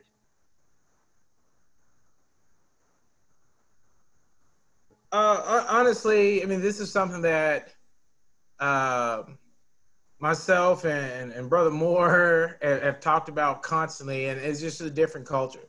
And so, for those of you on the call who don't know, I'm a member of Kappa Alpha Psi Fraternity Incorporated when I was growing up, I was a m- member of their Kappa Leadership League, and so uh, I knew that I was going to be a Kappa. Now, granted, I went to the Army right out of high school, and that wasn't happening then. And in uh, undergrad, because of mental health issues and trying to reintegrate back into society from being a combat veteran to just a regular human again, uh, being in any organizations wasn't a thing that I wanted to do in undergrad. So I ended up joining while I was in graduate school. Uh, but to go back to your question, I, I, I, I understand the frustration, but I will also put it back on them. You know, a lot of conversations I have with young men is like, man, you know, if I would have went to HBCU, then this and that. It's like, well, guess what? You're not at HBCU, so let's make it happen here. Uh, and, and, I understand the frustration, but a lot of the reasons that the organizations aren't here is because, like I said, I love my brothers, but sometimes they just don't step up. We can depend on uh, our young black women, specifically at the U of O, to show up to things, but our black men don't. And so when they say they're frustrated, honestly, I would call them on it. Now, for those you know me, I don't sugarcoat anything, uh, which some people like it and some people don't. And I can see it being very off putting. But if they really want that experience, one, they need to realize this ain't the South. This ain't stump the yard. And this these organizations are about doing work, not stepping, not strolling, not getting the girls, not twirling the cane. I mean, that might be a byproduct of it, but you know, And I tell a lot of these black young men, like, hey, it'd be great if you were in my fraternity or another fraternity, but I need you to graduate. I don't give a damn about no fraternity. I need you to be safe here in Eugene, Oregon, and I need you to graduate. Now, if you end up becoming a part of, you know, my organization, that's great. And I'm going to support you whether you decide to do my organization, another organization, no organization at all, because we need each other. But you're here to go to school. That's most important. And so take your frustration out on them books and them internships and those professional development opportunities and do that first. And then we can talk about how to get you tapped into these organizations. All right. Thank you, brother. I, am going to do a little curveball. I'm going to let um, our host, AP, um, slide in here, make some quick commentaries regarding a specific question. Um, go ahead, brother AP. Can you repeat the question, please? Yeah, you got me off the question. So basically, I was asking, no, like down south, you know, there's, there, I mean, black fraternal organizations are the norm. I mean, we see them everywhere. Coming from HBCU like you did, I mean, it was nothing to see, you know, the bros everywhere, right? But being here in the Great Pacific Northwest, you know, there's there's not a whole lot of them, right? And so, what would you suggest, or what would you convey to uh, black male who's frustrated by the lack of, you know, black fraternal organizations? Got it. Um, so, as you said, I, I, am a one. I'm a member of Omega Psi Phi Fraternity Incorporated, um, and I also did attend an HBCU in the South. However, I am from California, and so I think this question and really um, this is a West Coast um, really issue. Um, I know that when I came from Sacramento to go to Atlanta, I was not aware of a fraternal organization outside of the fact that my guidance counselor told me to apply for a scholarship because I was a young black male and the fraternity was giving me free money. However, when I stepped on campus and I saw what the organization, who those gentlemen were, what they were doing, that is what then brought me to where I am. Now, when you talk about being here in the Pacific Northwest and frustration, I will uh, wholeheartedly double down on what Brother Pitts uh, is talking about. Although I don't get to work with students directly, a lot of my alumni that I work with, um, specifically within our Black alumni group, um, have some type of uh, Greek letter organization affiliation. However, that was in their time, but they're not here now. And that's because the students that are currently on campus are not upholding the traditions of the organization's needs, as well as, to Damien's point, we're not stepping up to make sure that those organizations are staying on campus and are thriving. Um, and so, although it is an important piece, I think the experience is um, it was beneficial and it was very helpful. Um, I'm with Damien 100%. When you get to school, the goal is to finish. Uh, these other things are ancillary. You can get them done if it's something that you're truly passionate about during your time in college or once you finish at graduate school or once you finish in your in your regular life. Um, so that's where I would say, you know, your frustration is warranted, uh, but unless you want that change to happen, you got to one find enough folks to help get that organization off the ground, but then two, you need to channel that energy into something that's going to be more beneficial for your life okay. in the long haul. All right, thank you, brother AP. Since everybody's shouting out, you know, their fraternal organization, might as well shout out that A5, that good old six, you know, that bloody gamma delta, that bloody gamma delta. You know what I mean? That you know. So since we're doing that, just might as well say that, you know, University of Arkansas Pine Bluff, HBCU, you know. But anyway, let's go back to what we were supposed to be doing. Thanks for that, AP. We threw a little curveball. Those of you listening got a little extra. Um, so let me go to my brother Khan right now, in all seriousness. Um, what advice would you offer black males that are consistently, and this is all of us on this, this, this call right now, um, what advice would you offer black males that are consistently dealing with the trauma associated with police brutality and the killing of other black males? Wow. I, I think for me, the question is much broader than that. We live in a society based on white supremacy where white, black life has little value, if any. So the fact that you have police brutality, you have to understand how that came to be. Police brutality is nothing more than white supremacy being exercised on black bodies and in, in, in, in a way with impunity. So my, my advice to there is first acknowledge how black how police brutality comes into play.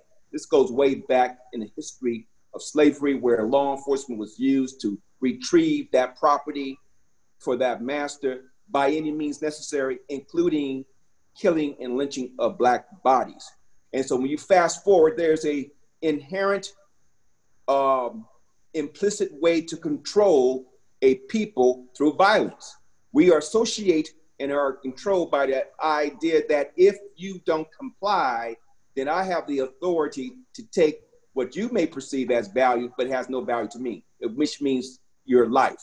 So when you start to see the easiness of how law enforcement or police can take your life, you got to go back to the whole system overall. Because in this system, in terms of capitalism, Black lives is at the bottom of the value system. We are a value driven system, and capitalism, for the most part, sees Black people as being invaluable.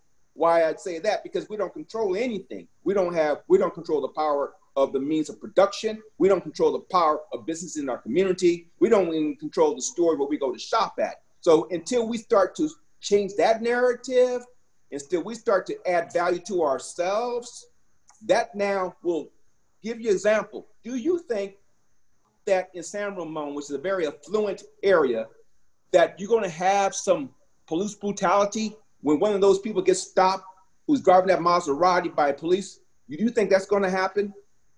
Not, and I tell you the answer to that is no, because there is great value, not only because they are white, it's because they have something that black folks are seem to be lacking, is money. Money is the power to neutralize police brutality. Why is that? Because when you start to be able to use resources through the means of having money, you can now control what type of actions that's going to be perpetrated against you. That's number one. Capitalism.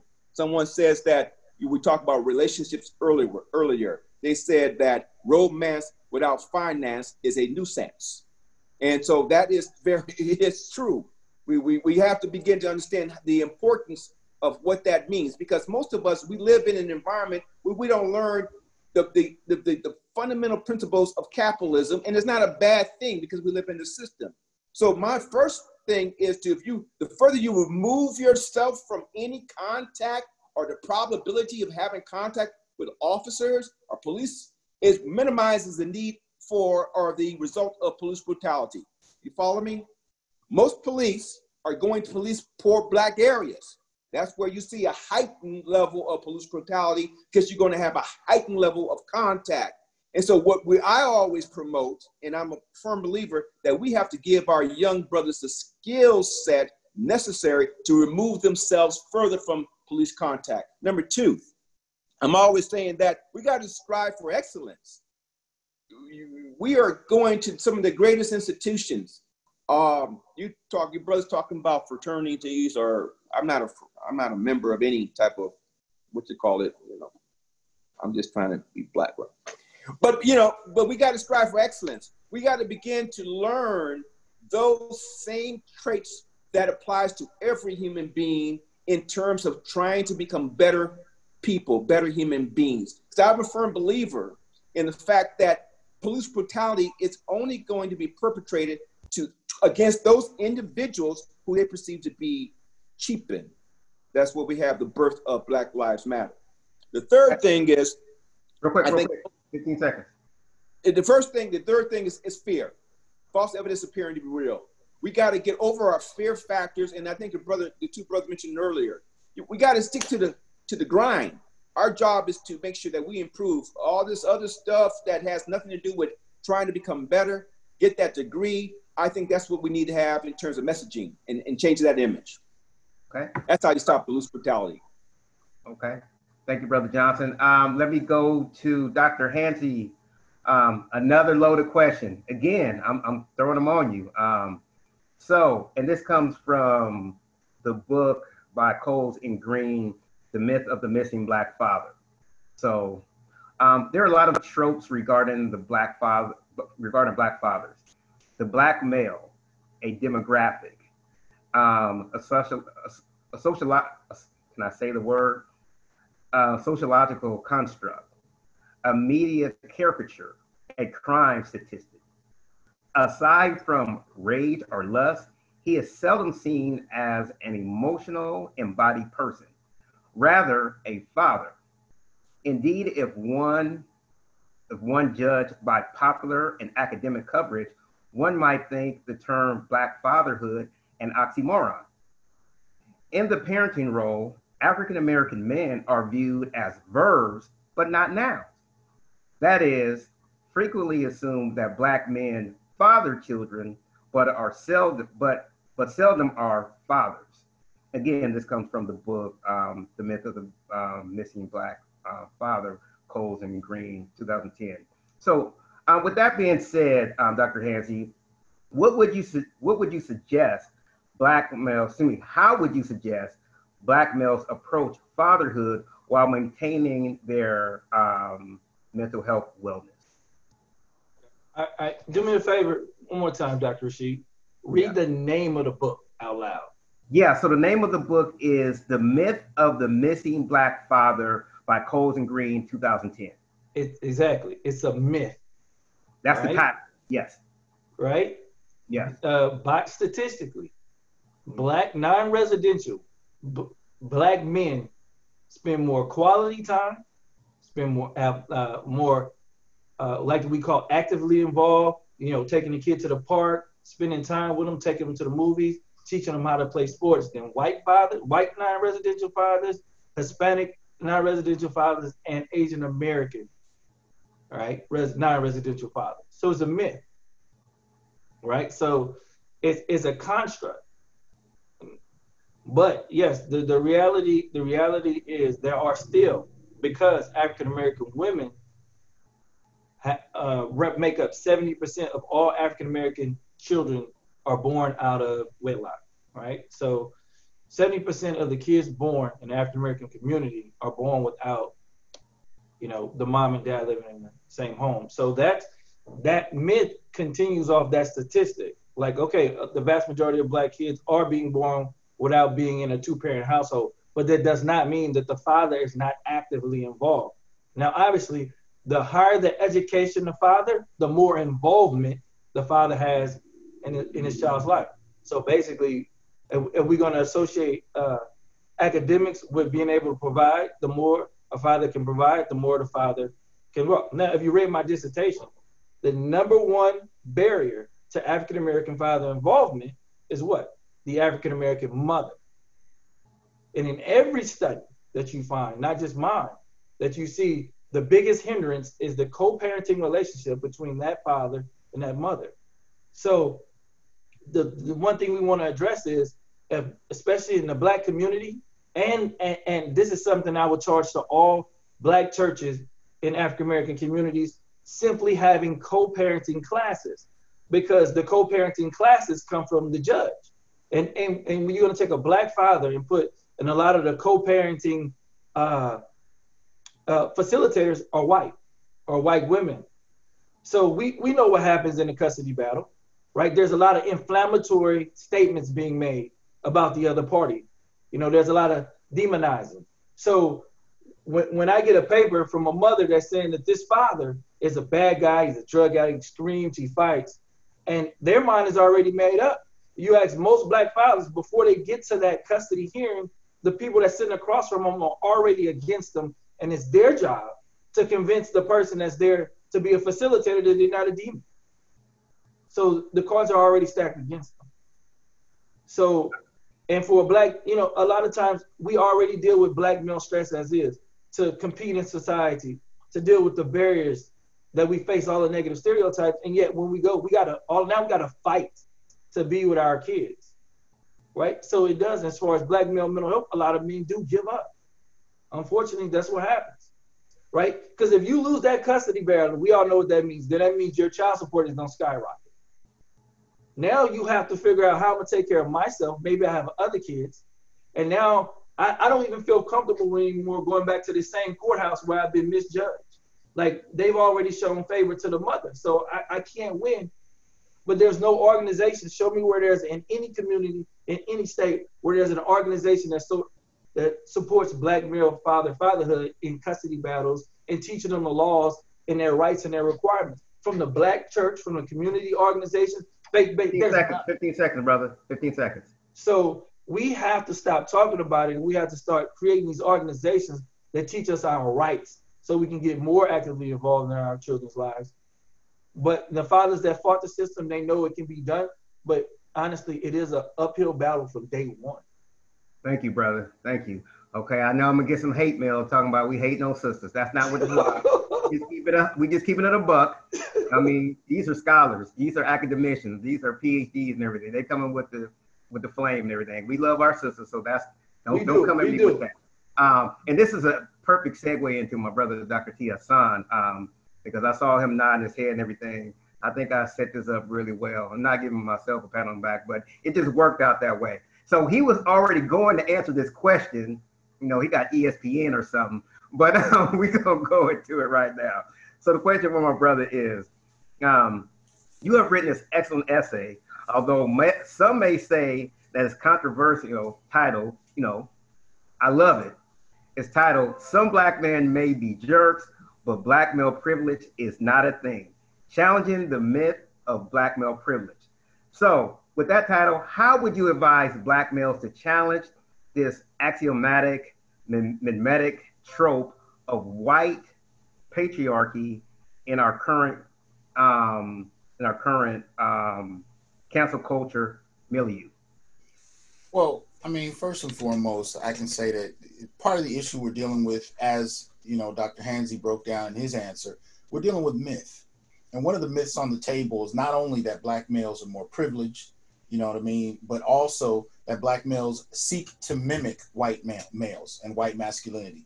That's a that's a myth. That's not the case. Black men haven't, and you can look throughout history and see that that's not been the case. But here's the other part to that we lack the actual institutional means to do it, even if we tried. We don't have the mechanisms in place. We are not able to dominate or oppress any particular group we lack the, the, i mean we just don't have the we don't have the inherited wealth. We don't have the structural institutions. None of that is realistic. As a matter of fact one of the things i was thinking about when dr hansey was answering your question uh, when he was talking about you know the, the, family courts and the kind of judgments that tend to, to levy against black men one of the things that came to mind when you when you said well you know let's be clear we're not hating on the sisters. The reality is whether you're talking about you know media whether you're talking about the academy whether you're talking about publishing institutions what and all and even if you're talking about churches in each of these areas you're talking about institutions that when it comes to the black community focus on their primary demographic meaning the demographic that that pays its bottom line by and large that's not black men it's not so I, I, think earlier, I think it was Dr. Francis, is that how you pronounce it? Mm-hmm. Who, who, made mention that you know churches don't always advise black men well. Well, that's not their primary demographic. The primary demographic in most Christian churches in the United Black United States and the Black community are women. So oftentimes pastors will target their message there. If you're talking about media, the primary groups that consume media are women across race. But in the black community, they tend to be black women. So in, in a, across a, a variety of institutions, we're in a capitalist system. They focus on who the dollar is coming from. And more often than not, black women tend to be more consistently employed. So this is part and parcel to why there's so much focus on either excluding black men from the discourse, ignoring them altogether, unless their deaths, for example, serve other demographics. The reason for that shift is because we're not the primary focus of where they're they're receiving their income from. So that's part of the discourse. It doesn't have to be about you know hating on black women. It's just that we're responding to the institutions that by and large put us in a vulnerable position because we're not their primary focus. So I I, I kind of you know we'll leave it there as far as that. But uh, oh, yeah. No, thank you, brother. That that was well, well, uh, man. The commentary is on fire. So, um, what I think we should do right now, and I'm I'm going to really go back to AP. I, I've been trying to follow all, all, all the conversations, but I, I, think you know I've I've given questions to specific panelists, and I think some other panelists may may have wanted to opine about the question that I asked. And so, and I'm going to ask my MC because again, he's the one that holds it everything together. Maybe if it's okay if we give brothers maybe you know three minutes each to address maybe a question that they heard from their perspective. Um, and then we definitely want to, again, we want to get to the audience who's been waiting at the bits to ask you brothers, um, you know, their questions. So how, how you brothers feel about that? AP, is that cool? You know, about them? That sounds good. Um, so I will uh, ask that our technical team allow the brothers to uh, be unmuted. And then if there was a question that you would like to um, respond to, please let me know. I will uh, let go ahead and give you three minutes. Also, for everyone that is listening in, if you have any questions, you've already been doing a great job of using the question and answer uh, feature within Zoom. So if there are any questions that we have not either gotten to in the chat uh, that you would like for us to uh, answer uh, throughout the rest of the night, please utilize that function and I will go ahead and uh, ask those questions. So um, I'm going to open the floor.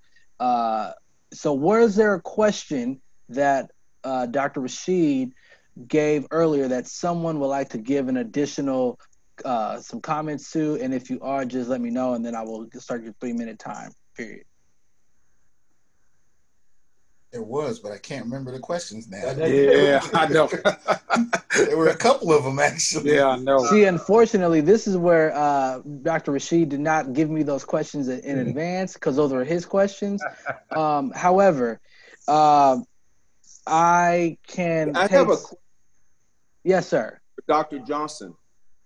Dr. Johnson, can you just elaborate for the next three minutes? How do we now, and by the way, brother, that's some powerful um, answers you gave in terms of institutions that we don't, the institutions that we don't control. Can you elaborate? How do we now navigate and deal with institutions that we don't control? And if you get my question. Uh, were there any particular ones you had in mind, or what you I, just?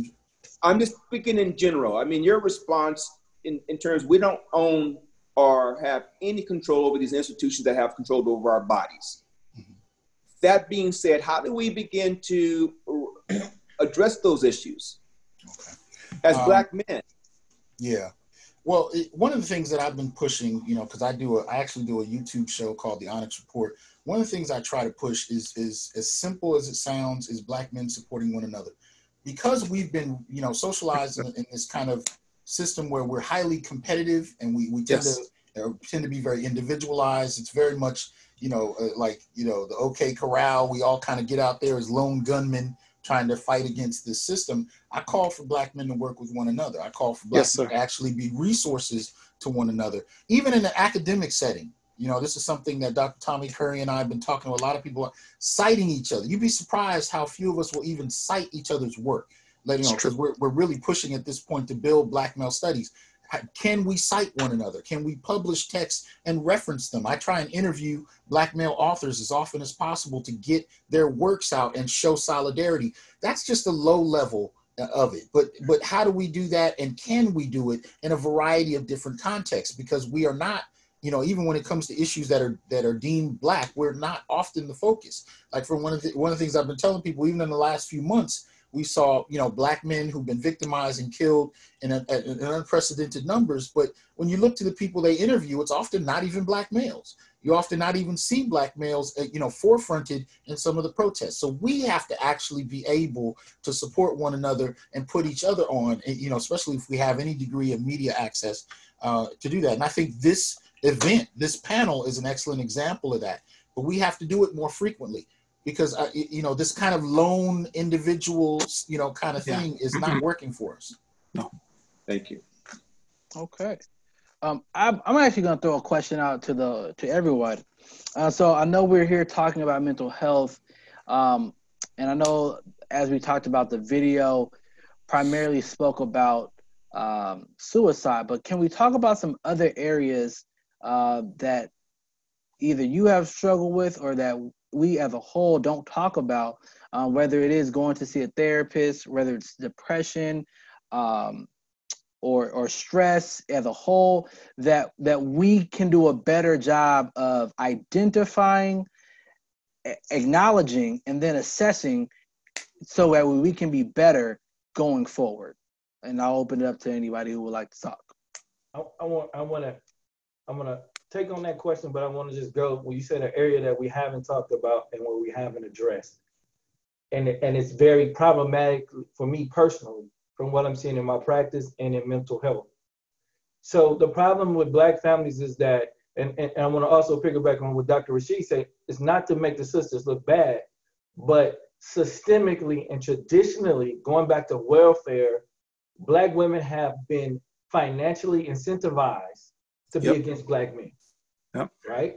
You're gonna get you're gonna get welfare if the black man is not living in the household. Right? That's right. Okay, but also you're gonna get more money in the child care and child support, right? If if if you can show that this father is not involved or keep him not involved, you can get more welfare and child support from this man. So it's always a financial incentive to keep the black man and the woman apart or from not being you, uh, when when black men and women come to an agreement on shared custody and child support, it's always significantly less than what the court orders. Mm-hmm. Right? So black women are being incentivized mm-hmm. to be mm. against the black man. And now I'm, I'm gonna put this out here. Okay. Ever since welfare reform, so this is what happened. We chop it, we chopping the financial uh, cash benefit off after five years. So they put somebody else in the welfare office and say, hey, you go take your, your child down to the therapist and have the therapist say your child is crazy, you're gonna get SSI. Mm-hmm. So now I, I would have five and a, a, black mother coming in with three or four kids saying they all crazy, just say they got this, so I can get so I can wow. get additional housing and SSI.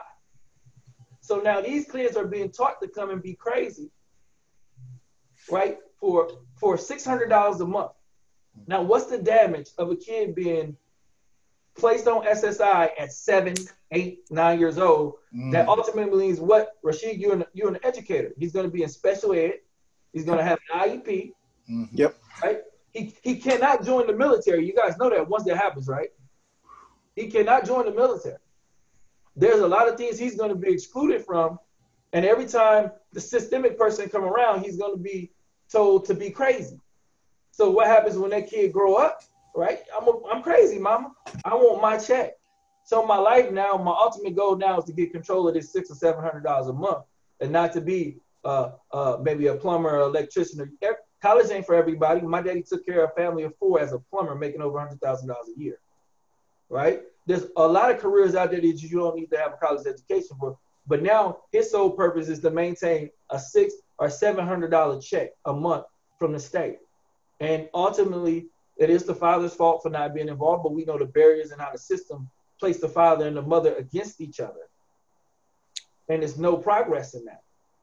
Mm-hmm. That's something that has been killing me to the point where I won't even take it or deal with those cases. where I can almost tell when they call me, they're calling me specifically on the first session.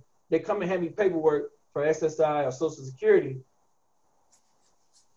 And, and we're not addressing that. Mm-hmm. And it's destroying specifically the vast majority of the kids that I'm seeing are young African American male children. Yeah, that is such a powerful and profound point. You know, when you bring up social incentivization, incentivization that's that's incredibly powerful because we can look back to the last five or six decades and we can see how this has impacted the black family. Because if you're talking, yeah. talking about a community that historically has lacked wealth, and the man of the house can be replaced by an institution that sends a monthly check, what happens after five or six decades? What is the perception of black men, even intra-racially? even mm. from other black males who are reared in this system. What come, what how, what happens over generations in terms of the perceptions of black males? Just from that, that's powerful. Okay, so I want to follow that up with a question that we have in the chat. So, of course, we acknowledge that there is no one size fits all answer. However, as Black women, how can we best support our Black men in an informed and sensitive way to engage in a vulnerability and communication when they may not be able to navigate that space comfortably.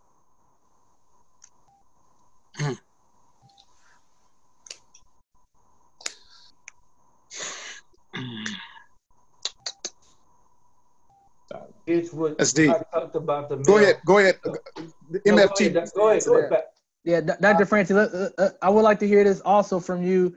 Uh, I would like to for you to also give us a little bit of uh, religious background as well eh, when you give this answer. It seems like you have a lot of a lot of good information again. So go ahead. So, so uh, uh, repeat the question. It, it was about how can just basically in a nutshell, how can the black woman best support uh, the black man? Yes, in an informed oh. and sensitive way to engage in vulnerability and communication when that may not be a space that they navigate comfortably. Okay. The, uh, the Holy Scriptures teach that the the wife, you know, when a man finds a wife, he finds a good thing.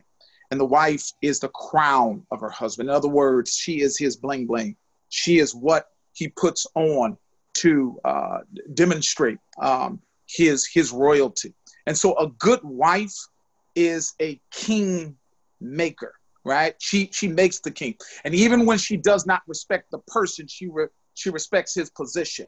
So when when we walk into a courtroom, we all stand up, not because we like the judge as a person, but we respect the black robes. And so there's something about a woman; her spirit should rise when he comes into the room because she respects his position, no matter how much he makes a year.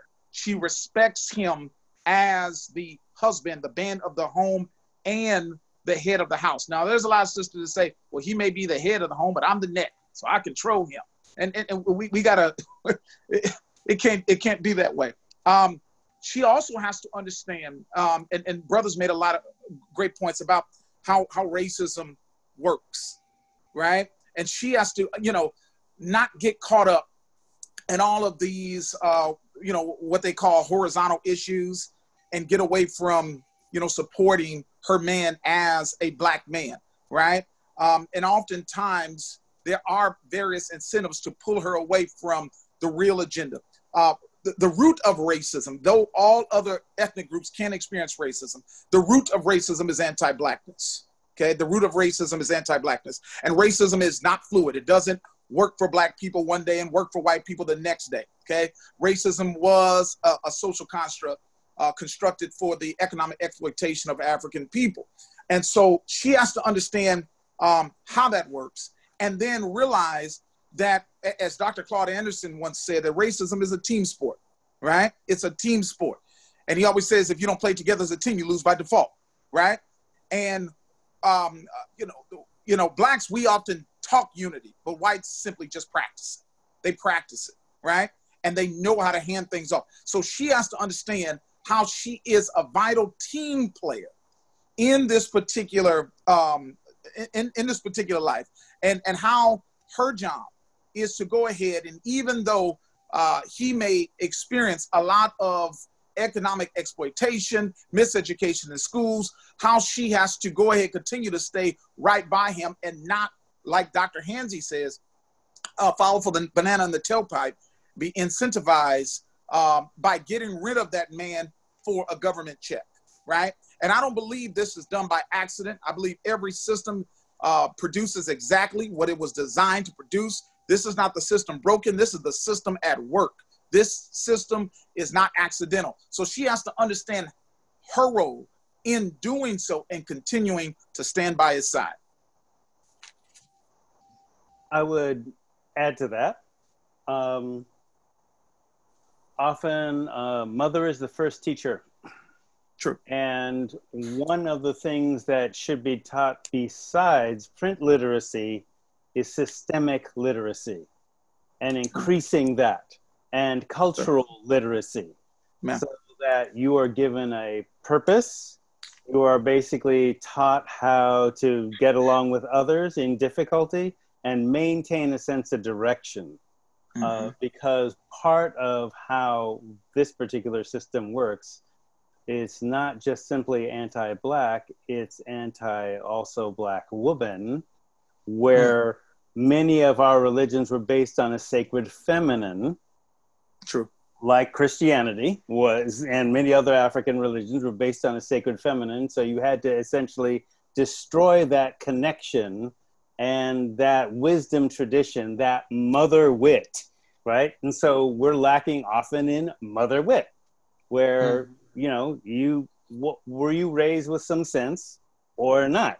and how do you how do you negotiate It's those true. particular difficulties and be Mhm. able to talk your way out of it? So you know, it's not simply about being able to talk with a white voice or an Ebonic voice or a frank francophone voice or whatever. Is understanding technical English. So oftentimes, you know, I was uh, faced with, you know, certainly when people come used to come to my office, they weren't expecting Mark Harris to look like me because I speak California newscaster English, no accent and I'm medical. So I'm going to talk scientifically literate because I'm a black medical professional raised by black professionals. I never knew any black criminals. I only knew black professionals that were, you know, one step away from sharecropping and two steps away from slavery. And we were hmm. the slaves that taught each other how to read when it was a death sentence. That was our identity. Our identity was look, slaves are smart and they wanted to read and they tried to kill us for reading. So that literacy, that print literacy, that systemic literacy, that cultural literacy taught by women and also taught by what we would call gender non-conforming women and basically looking at that side of it and saying, hmm, the Angela Davises, the Audre Lordes, the James Baldwins, the Langston Hugheses, et cetera, et cetera, they contribute to our wisdom traditions as well. To And- be and well I just, read. I just got, I, so I just got to piggyback. You, you got to understand that black men got to start learning to help themselves, and and I know black women mean well, and they love us to death, and we love them back. But black men got to take accountability for their own health. And they got to, if, you, if you're gonna have a partner, you got to take listen to your partner, man, and allow your partner to tell you you got to go get help. Go to the Yeah. doctor, right? We gotta we gotta put that ego to the side and listen sometimes. Yeah, and, and also I want to say, Doc- Dr. Dr. Henson, it's it's important for the black woman, like I said, not to get caught up in this institutional cancel culture. That's a lot of times supported by white supremacy. You, you know what I mean by that is, yes, we know. You know, let's take somebody like an R. Kelly. There's there's some mental health issues, right? We see the result of it, right? Um, and, and and I'm not here to try him in any court or anything, but we want to rehabilitate the man so he can probably put out a gospel album, right? We we we, we want to help the individual. We don't use um, these these you know you know white owned corporations or white supremacy or these channels to come in and hang literally hang this man, right? We want to go ahead and assist this man because at the end of the day, Kelly is still our brother. He's our cousins. He's our uncles. Um, um, he, he belongs to the African family, right? And so what we want to do is learn how to go ahead and assist, like like Sister Monique said, how do we help this brother? Not just use our platforms, 30 Gail seconds, King, brother. to to go ahead and and and, and hang this brother uh, for the pleasure of you know of, of white supremacy. Okay, so we have a we have a bevy of questions that are flooding in through the through the question and answer. So we're gonna get to those right now.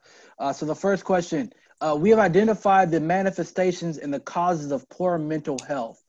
The question is, what can we do to improve access and continue and continuity of mental health? I actually want to throw this to, to uh, Mr. Cornelia or Mr. Johnson. Um, with your work with the police uh, for within your career, can can you talk about this and you know specifically from that perspective? Um, I know that there's a lot of talk around defunding the police and taking some of that money and putting it into other areas. Um, but what would this look like right now if you were to talk about that? How could we improve that access? Oh. So, so, brother, that's an excellent question. I, I, I think as a first, as a black officer, or should I say, an officer who happens to be black, I come with a very unique perspective because I know what it is to be in those communities on the other end of a baton, whooping my butt. And so, what the first step we have to do as African American officers is reconnect ourselves to that community. We, I, for instance, we started a program. It's called uh, the fishing program, and you guys all know the proverb: you teach a man how to give a man fish he eats for a day, and teach him how to fish he eats for a lifetime. We we worked with our young brothers in really training them and getting them reconnected to the community by learning skills. A simple skill as writing a resume was very pertinent in terms of that development. Going out there and learning how to uh, apply yourself or apply for applications. Now it's, it's, it's changing. So all these life skills, we can do that. We have to put the boots back on the ground and get to the problems in the community by being present, by going out to these these these programs, our community centers, where people come to look for answers. Going back to the black church, Dr. Francis talked about that, and being part of that. We have to begin to take out the uniform and roll up our sleeves and put these jeans on and have these conversations. So it's not just doing one thing from a law enforcement point, point of view. So let me just one quick thing. We the the official title of a police officer is a peace officer. Our job is to maintain the peace. Our job is to create environments where people come and thrive, where our young kids can play on the street without worrying about being shot by a bullet. Our young daughters can go out there without worrying about being molested. Our young men can go out there and worry about not getting shot by the police. That is a safe haven. And the mental health aspect of it, if I don't feel safe in my in my environment, all this other stuff we're talking about becomes a moot point. So the first thing we have to start to look at is the, the really the health of that individual in that community and start connecting them on being part of it and working on that development of becoming a boy to man. And I think Dr. Hansi said it earlier. We got to take responsibility as black men to be present in, our, in, in the lives of our daughters, in our in our sons' lives, uh, even though we're not with the the, the, the, the mother. You know, how do we begin to do that? So, from a law enforcement point of view, that's the first thing we had that I promoted in trying to use community policing, the philosophy, in getting people to be a part of their problems by solving their own problems. I would tell you right now, if anyone looking to government to solve these black problems, you're looking in the wrong place. If you're looking to, to, to, to other entities, you're looking to the wrong place. If we are going to solve these problems in terms of police relations, it starts with us. We have to be able to demand from the system that how we want to be policed, number one, but we also got to be responsible in terms of that our conduct is being a beyond reproach. So I would say that, you know, from, from my point of view, is getting back there and just working with brothers in your schools. The highest dropout rate was young black men. 30 seconds, brother. The highest disciplinary rate. So as a police officer, seeing that, you go back in there and create a classroom with these young brothers. Don't send them home. Send them to me.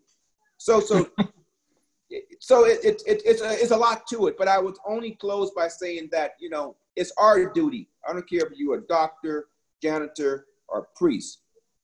It's our responsibility. Mr. Moore, can, can, can, can you ask that same question to uh, Dr. Rashid? I, I was you you you just took it out of my mind. I was gonna say Rashid been real quiet, brother Rashid. Uh, can you talk about that again? I will read it for you. Uh, we have already identified the manifestations and the cause of poor mental health. So, how do we improve access and the continuity of mental health? Access. That's that's the key question.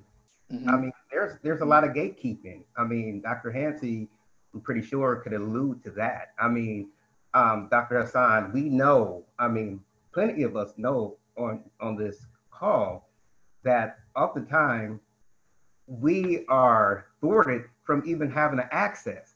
I mean, the fact that you know black males make up two percent of the educators. I mean, so that's the million dollar question. And so, if we are having a diff, if we're having difficulties and challenges in the ways in which to have access, and this goes back to Dr. Francis, we have to create our own infrastructure. Mm-hmm. We have to create our own infrastructure where we're unapologetic. We're All not praises. asking people for access. We mm-hmm. have it. I mean, look on this call right now. Look at all these scholars. I mean, all these, you know, a multiplicity of thought leaders that we have on here. It's not like we can't do it, but oftentimes we're not allowed to do it. So we just need to make sure we do it. Like Nike, and I'm not promoting Nike, but I'm just saying we have to do it unapologetically. And I know we work in different spheres and spaces and everything where they kind of, you know, want to limit what we say and censor, especially black males in particular. But we have to go about that. And again, this goes with Dr. T. Uh, Hasan Johnson said, we have to make sure we're advocating for each other. So how's that work look as far as accessing? We're doing it right now. This can't be a one-off. You know, my brother T. Hasan, he has a show. You know what I mean? My brother, Dr. Um, my uh, Francis is about to have a black newspaper. I mean, we have different people who are doing different things that we have to support. That begins to uh, provide the access. My brother, Dr. Hansey, is working on the second PhD. You know, my Jigna and Griot, Professor Harris has been a beacon within, you know, the Eugene community for several years, a wealth of knowledge. We need to tap into that. There's access there. A lot, oftentimes, we want to follow what, you know, popular culture is telling us to follow. Mm-hmm. We need to get that access from them instead of reaching from the, you know, within and what we have already there. So really the, the question is kind of, the answer is kind of simple to me. I mean, it's not simple to do because some of the confines that are placed on us, and we have to break those shackles that are placed on us. And oftentimes we place on our own selves, but we just have to do it. We just have to do it. And okay. again, to me, it's obligatory for us to do this. We have an obligation to those young brothers and sisters to make sure that access is provided for them. 30 seconds. Not, the cycle will continue. Thank you. Okay. All right. So I have another question that's on the floor. Um, I'm going to actually direct this to uh, Dr. Hasan and to Mr. Pitts. Uh, so the question is how do we build the infrastructure that is needed for black men to feel valued and promoted not only from others but in cult, but within our own culture. Uh, so, Brother Pitts, can you talk about that from a collegiate experience? Uh, seeing that you are an advisor here at the university or at University of Oregon, uh, and then and then for Dr. Hasan, I'd like for you to kind of speak about that on a larger scale. Um, I think the first thing is to one realize that, uh, you know, you, you have to look at the cultural geography of the place and and you know there are things that black men are going through in oregon that they wouldn't go through had they went through in memphis. Like there'd be different worries in memphis uh, where the cops might not be the biggest problem. It might be that black dude wearing a certain color. Uh, so i'll speak specifically about here. Uh, i mean and i've said this before i, I think that we baby some of these uh, black students period because we a lot of them are in this phase where if you if you step to them straight you know you treat them like a man or a woman they be like oh i don't fool with him. Or there's that delayed realization that oh yeah this dude was on was on me hard but it's because he actually cared and he saw more in me but we often are countered by some of our white counterparts who some of these black students actually see as more valid than us, even though we're the ones that are there for them all the time. You know, there have been s- different situations where various students of uh, who were not white, you know, I had to pop off on somewhat politely, and as opposed to like embracing it and realizing like this dude actually knows what he's talking about, they ran to my white boss and told on me, or my words weren't valid enough, and we see this going on, and we don't check these students. Like, look, uh, it, it, I think that there's one thing to be supportive and understand mental health, but I think that we are allowing these students to operate at a deficit because we aren't pushing them to get that internship. You know, I used to be a career coach too. So when I think academics, I think career together, and you cannot separate the two. And so push them to go to career service, push them to go to the event. And then when they say, oh, I'm good, I ain't go, you ask why, but then you turn around and say, hey, look, you know, if you want to succeed, you're going to have to step outside your box. You chose to come to University of Oregon, and we're going to make it as good as possible for you. But guess what? You or your parents ain't paying out this money for you to sit around and be complacent. Like you are descendants of kings and queens, act like it. And I digress. Brother Johnson. Okay. Um, can you uh, give me the question one more time? Of course I can. Uh, let me go. Let me, let me go back. So, oh, did I press it already? Okay, hold on. Here we go. So, how do we build the infrastructure that is needed for Black men to feel valued and promoted, not only from others, but in our own culture? Okay. I think the two things that come to mind for that is again, coming to grips with the reality of the barriers and looking at them from an institutional lens. And then the other thing has to do with what I would call institutional infighting. So, starting with the first one, I teach in the CSU system. The California State University system is the largest system in the country, mm-hmm. right? In the first year, right, 70% of black males drop out. Mm-hmm. If I make this just about you know, whether or not they, they have the wherewithal individually to handle this, I'm not going to be able to solve the problem because this is a larger issue than that. We're talking about black males that are going to, you know, a number of different campuses. They're coming out of a variety. They're not all from the hood. You know, they're coming from all kinds of different backgrounds. There is still, however, a consistent factor that implement that impacts whether or not they're able to endure their first year right? Many of them are still first generation college students. Many of them have not had a K through 12 experience that has actually prepped them for college, and it's right. to an unprecedented degree. Now, here's the irony. We also have a problem with labeling things as black issues, strictly on a racial basis. But if black women in the last few years have been recently designate, designated the group most enrolled in, in higher education, and black males, eh, you know, in the largest university system in the country are dropping out by 70% in their first year.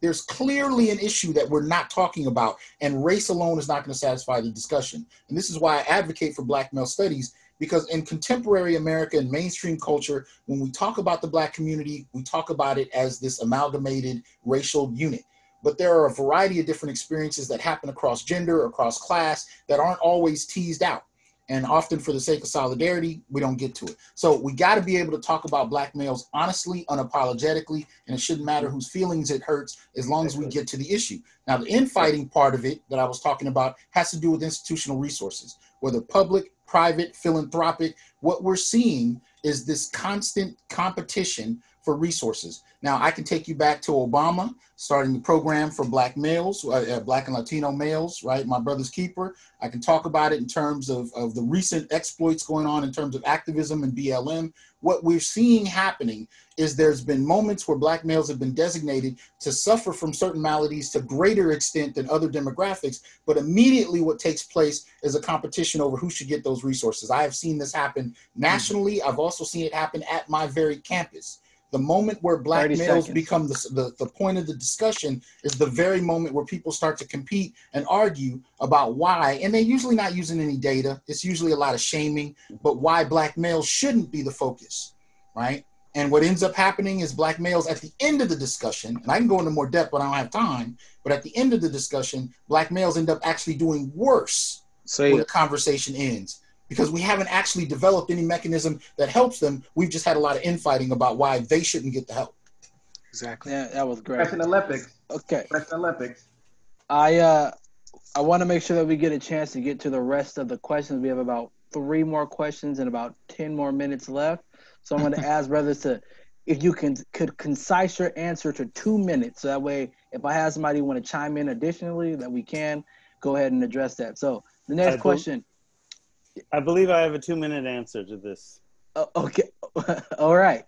Um, So basically, we need to create uh, institutions outside of the mainstream institutions. So I've been here for 36 years.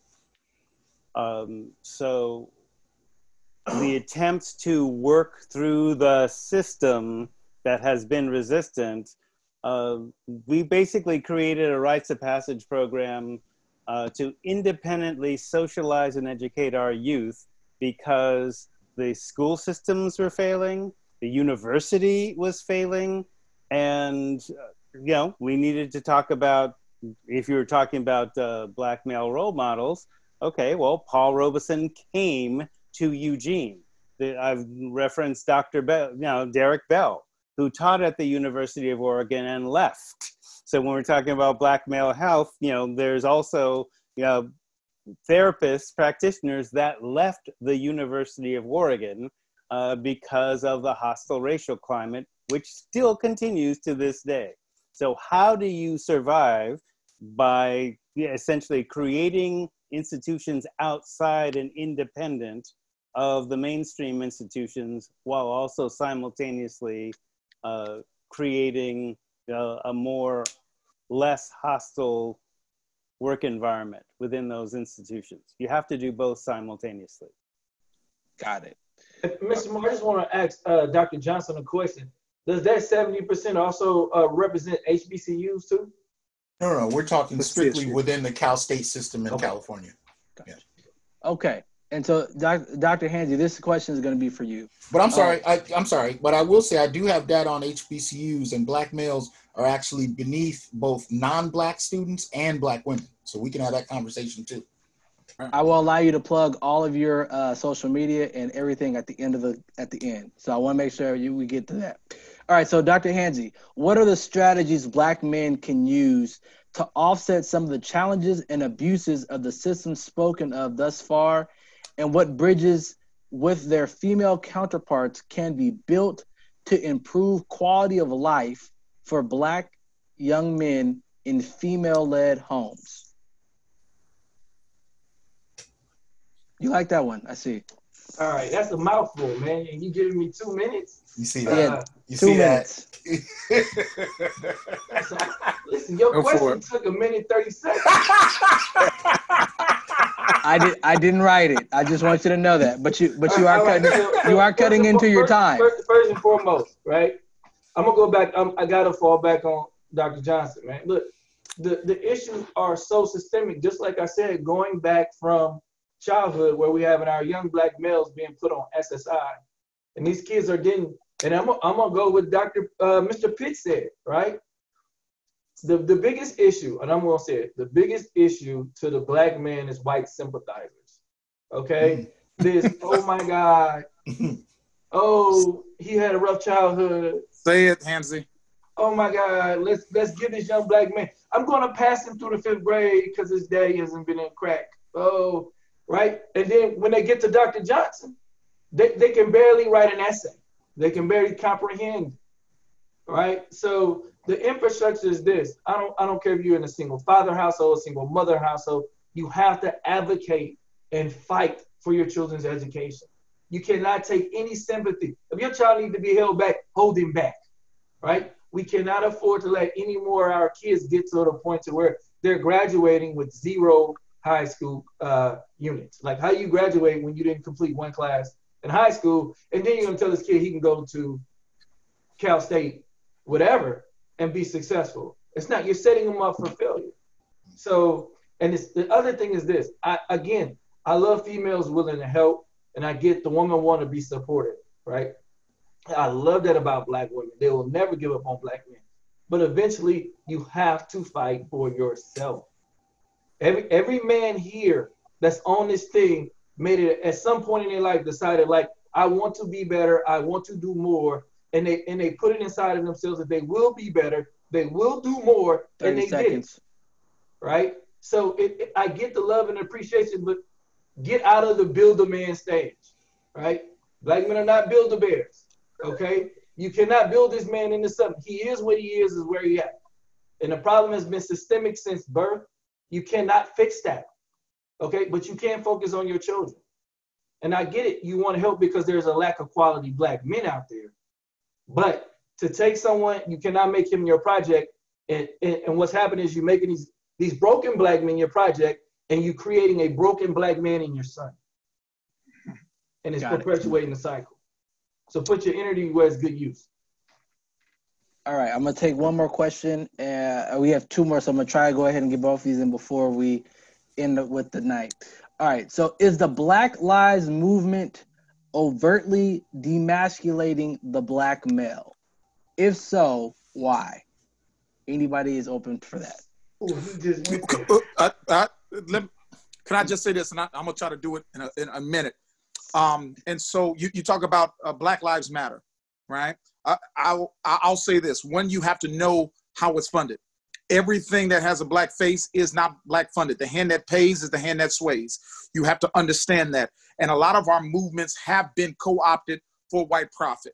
Okay. If you look at the NBA, the greatest selling jersey they have out right now has equality and racism. So you have all of these vague terms. Okay. What is equality? How do you achieve it? How, what is freedom? How do you achieve it? Black Lives Matter. How do we actually make Black Lives Matter? And so what's happening is white supremacy has co-opted the movement, taking control a lot of our movements. And then what you see is black people at the end of the day, all we get is listening and learning, but we get no reparations. We have no economic development. So so we have to go ahead and, and, and really look at these institutions that have uh, a black face but are funded by white people because as we all know, and as all, all, black men, we've worked in public education or higher education. It's hard to fight white supremacy when you're being funded by white supremacy. There it is. All right, I appreciate I, I, I would chime. Can I chime in real quick? Go for it. Go for it, sir. A minute. All, go for it. I'm going to. I, I'm a full supporter of Black Lives Matter because the simple fact that we have to understand what was the impetus and gave it birth.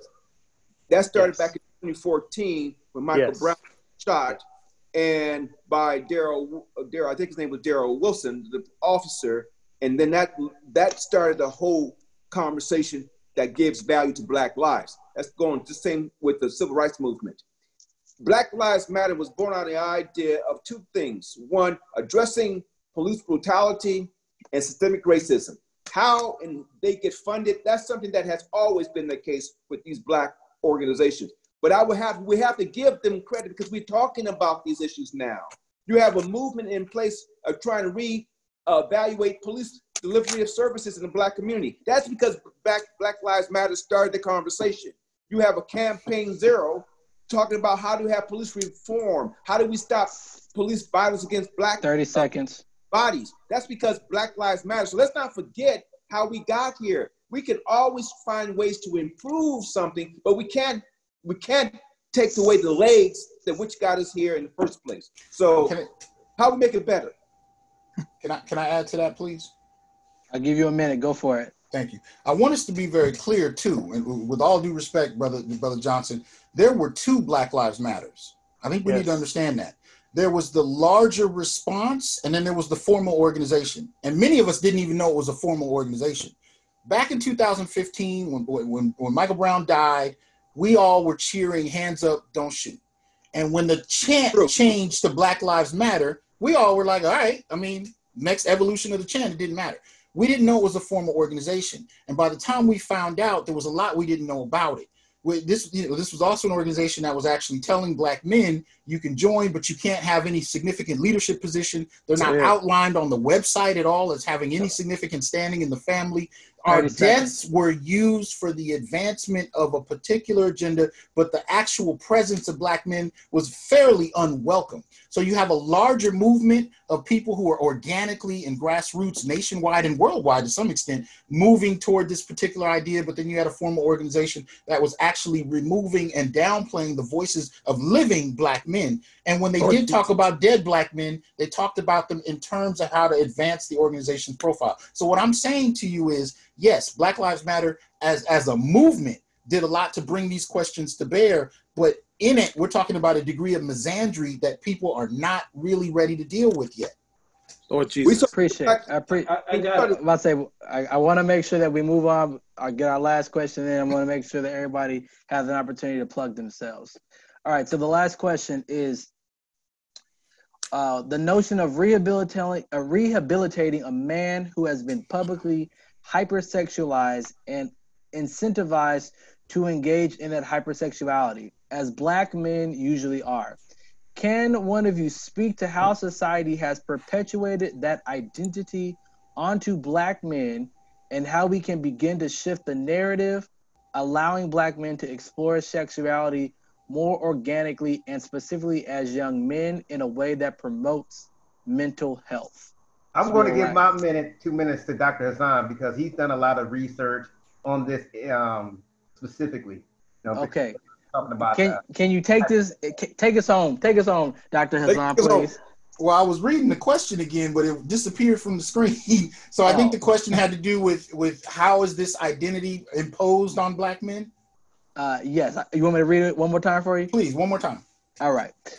The notion of rehabilitating, re, I cannot speak tonight. Rehabilitating. There you go. Rehabilitating a man who has been publicly hypersexualized and incentivized to engage in that hypersexuality, as many black men are. Can you speak to how society has perpetuated that identity onto black men and how we can begin to shift the narrative, allowing black men to explore sexuality more organically and specifically as young men in a way that promotes mental health? And that is a hmm. powerful question, and I'm going to answer it in a way that still, you know, allows my brothers on this panel to participate because that is huge. One of the biggest ways we do have to look at this through this, look at this, is through corporatization.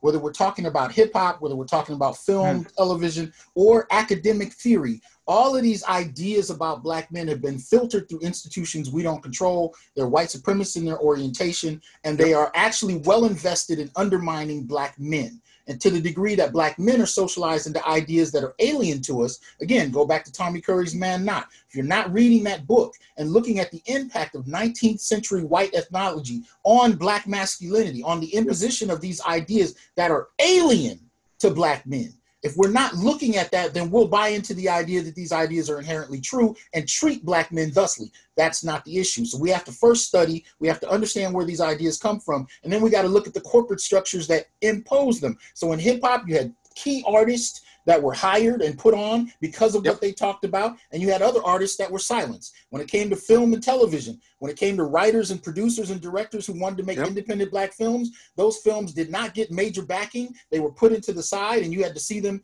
on your computer if you were lucky. The ideas have been regulated. And, and so we it's been such it's been going on for so long that we actually take it as truth that these ideas about hypermasculinity actually do reflect black masculinity, and those are not the same thing. But please That's right. participate, brothers. Word. Okay, 30 Uh, seconds. Go for it. Who, who else would like to chime in? Uh, l- let me ju- let me just uh, just just to echo um, what he what he said. I think he said it um, perfectly. When you you talk about a Cosby, you talk about a Kelly and stuff like that. Um, you know, hip hop. Um, uh, you know, this the sexualized R and B. These are uh, a, a lot of these because the institution is white owned and white funded. Right, a, a lot of hip hop artists have become living minstrel shows. Right, that we believe is real right? And it's been projected onto our community. And then we think this is black culture. And if you talk to the, the regular person on the streets, they think BET is black culture when BET is not black owned, right? And so they show the worst of us. They show these reality show that that that that that says violence is love.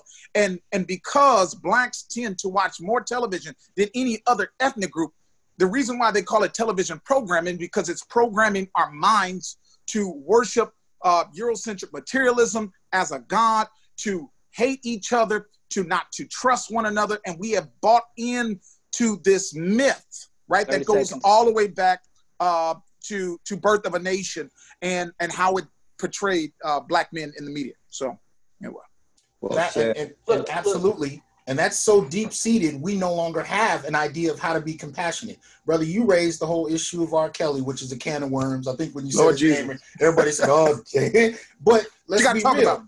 We know how to criminalize him, but the man was Right. raped by his sister, and so was his brother, and Exactly. violated by a man in the community when he was young. We know how to penalize him. We have no idea how to actually contextualize his experiences and make sense of it. That speaks to how black men are seen overall. And they Or will use black R. women to Kelly, lynch him. They, But they brother, use black about to women say, to lynch him. Doctor Doctor Harris, I want to make sure I get to you. Uh, I, I heard you to speak up, so go ahead. Or prevent R. Kelly's from happening. Yes, sir. That's right. Um, just tell me real quick, AD, AP. I know you got to go. We got to go. We up against. Uh, the we we are. The next tackling taboo. We already hit on it. We're talking about R. Kelly. I did this before, but we have to talk about molestation in the black community, in particular, how it impacts black males. It's something that's very taboo. We will revisit this conversation. Definitely want to get a shout out to Griot, Greatness Rediscovered in Our Time. All you brothers. AP, take us home, brother. You did a wonderful job. Blessings. I, I will. Hey, see, I, I know we're about to end. Yes, sir. I just got to get this off my chest. 30 seconds. I got you. 30, se- 30 seconds. Listen, we Go need for to put it. our Lamont said it best. Lamont said it best. Dr. Francis said it best. Listen, whenever there's a black movement since civil rights for anything, right? Capitalism comes in, swoops it up, and controls the message. Right? They learn from civil rights. If we don't control the message, right, we don't Right. control the outcome. And Right. whenever there's a black movement that's backed by white capitalism, it's over. Oh, 10 seconds. 10 Uh, seconds. I got. This is- I'm about to say. I gotta. I'm about to say. I got. I gotta make sure. Let, let me say this. Got- this is why. about This is why you have a George Floyd. See, when you have these movements like Black Lives Matter, they love to deify black men in death, but devalue us in life. So For you sure. would have hated that man and clutched your purse if you saw George Floyd coming in life, but then he's deified in death. And they do that to King. They've done that to Malcolm X. They do that to all men. So if you can sit there and celebrate and, and do marches and put t-shirts on for a black man who is dead, what will you do for the black men who are living? We're alive. Do something for us. I appreciate. All right, that was great. To that, you know what? That's that is that was a powerful way. to Woo, doctor. Uh, and so, in closing, um, one, I want to thank all the panelists, uh, the moderator, uh, for all of the, you know, this was hard work tonight to come on and, and talk about these things. Um, but specifically, I would like to acknowledge Lane Community College's Concepcion Connie Mesquita Multicultural Center, the Office of Equity and Inclusion, the Black Student Union, the Academic Technology Center, the Department of Academic Technology, the Associated Students of Lane Community College, the Lane Community College Administration, Lane African American Black Student Success Program, the University of Oregon, the Eugene Springfield uh, NAACP, Blacks in Government, and, and GRIOT. Again, the Greatness Rediscovered in Our Times mentoring program. Um, uh, everyone that was on here tonight, if you don't have their information, although Brother Rashid's gonna get mad, I'm gonna give y'all brothers, everybody, I'm gonna just call you out.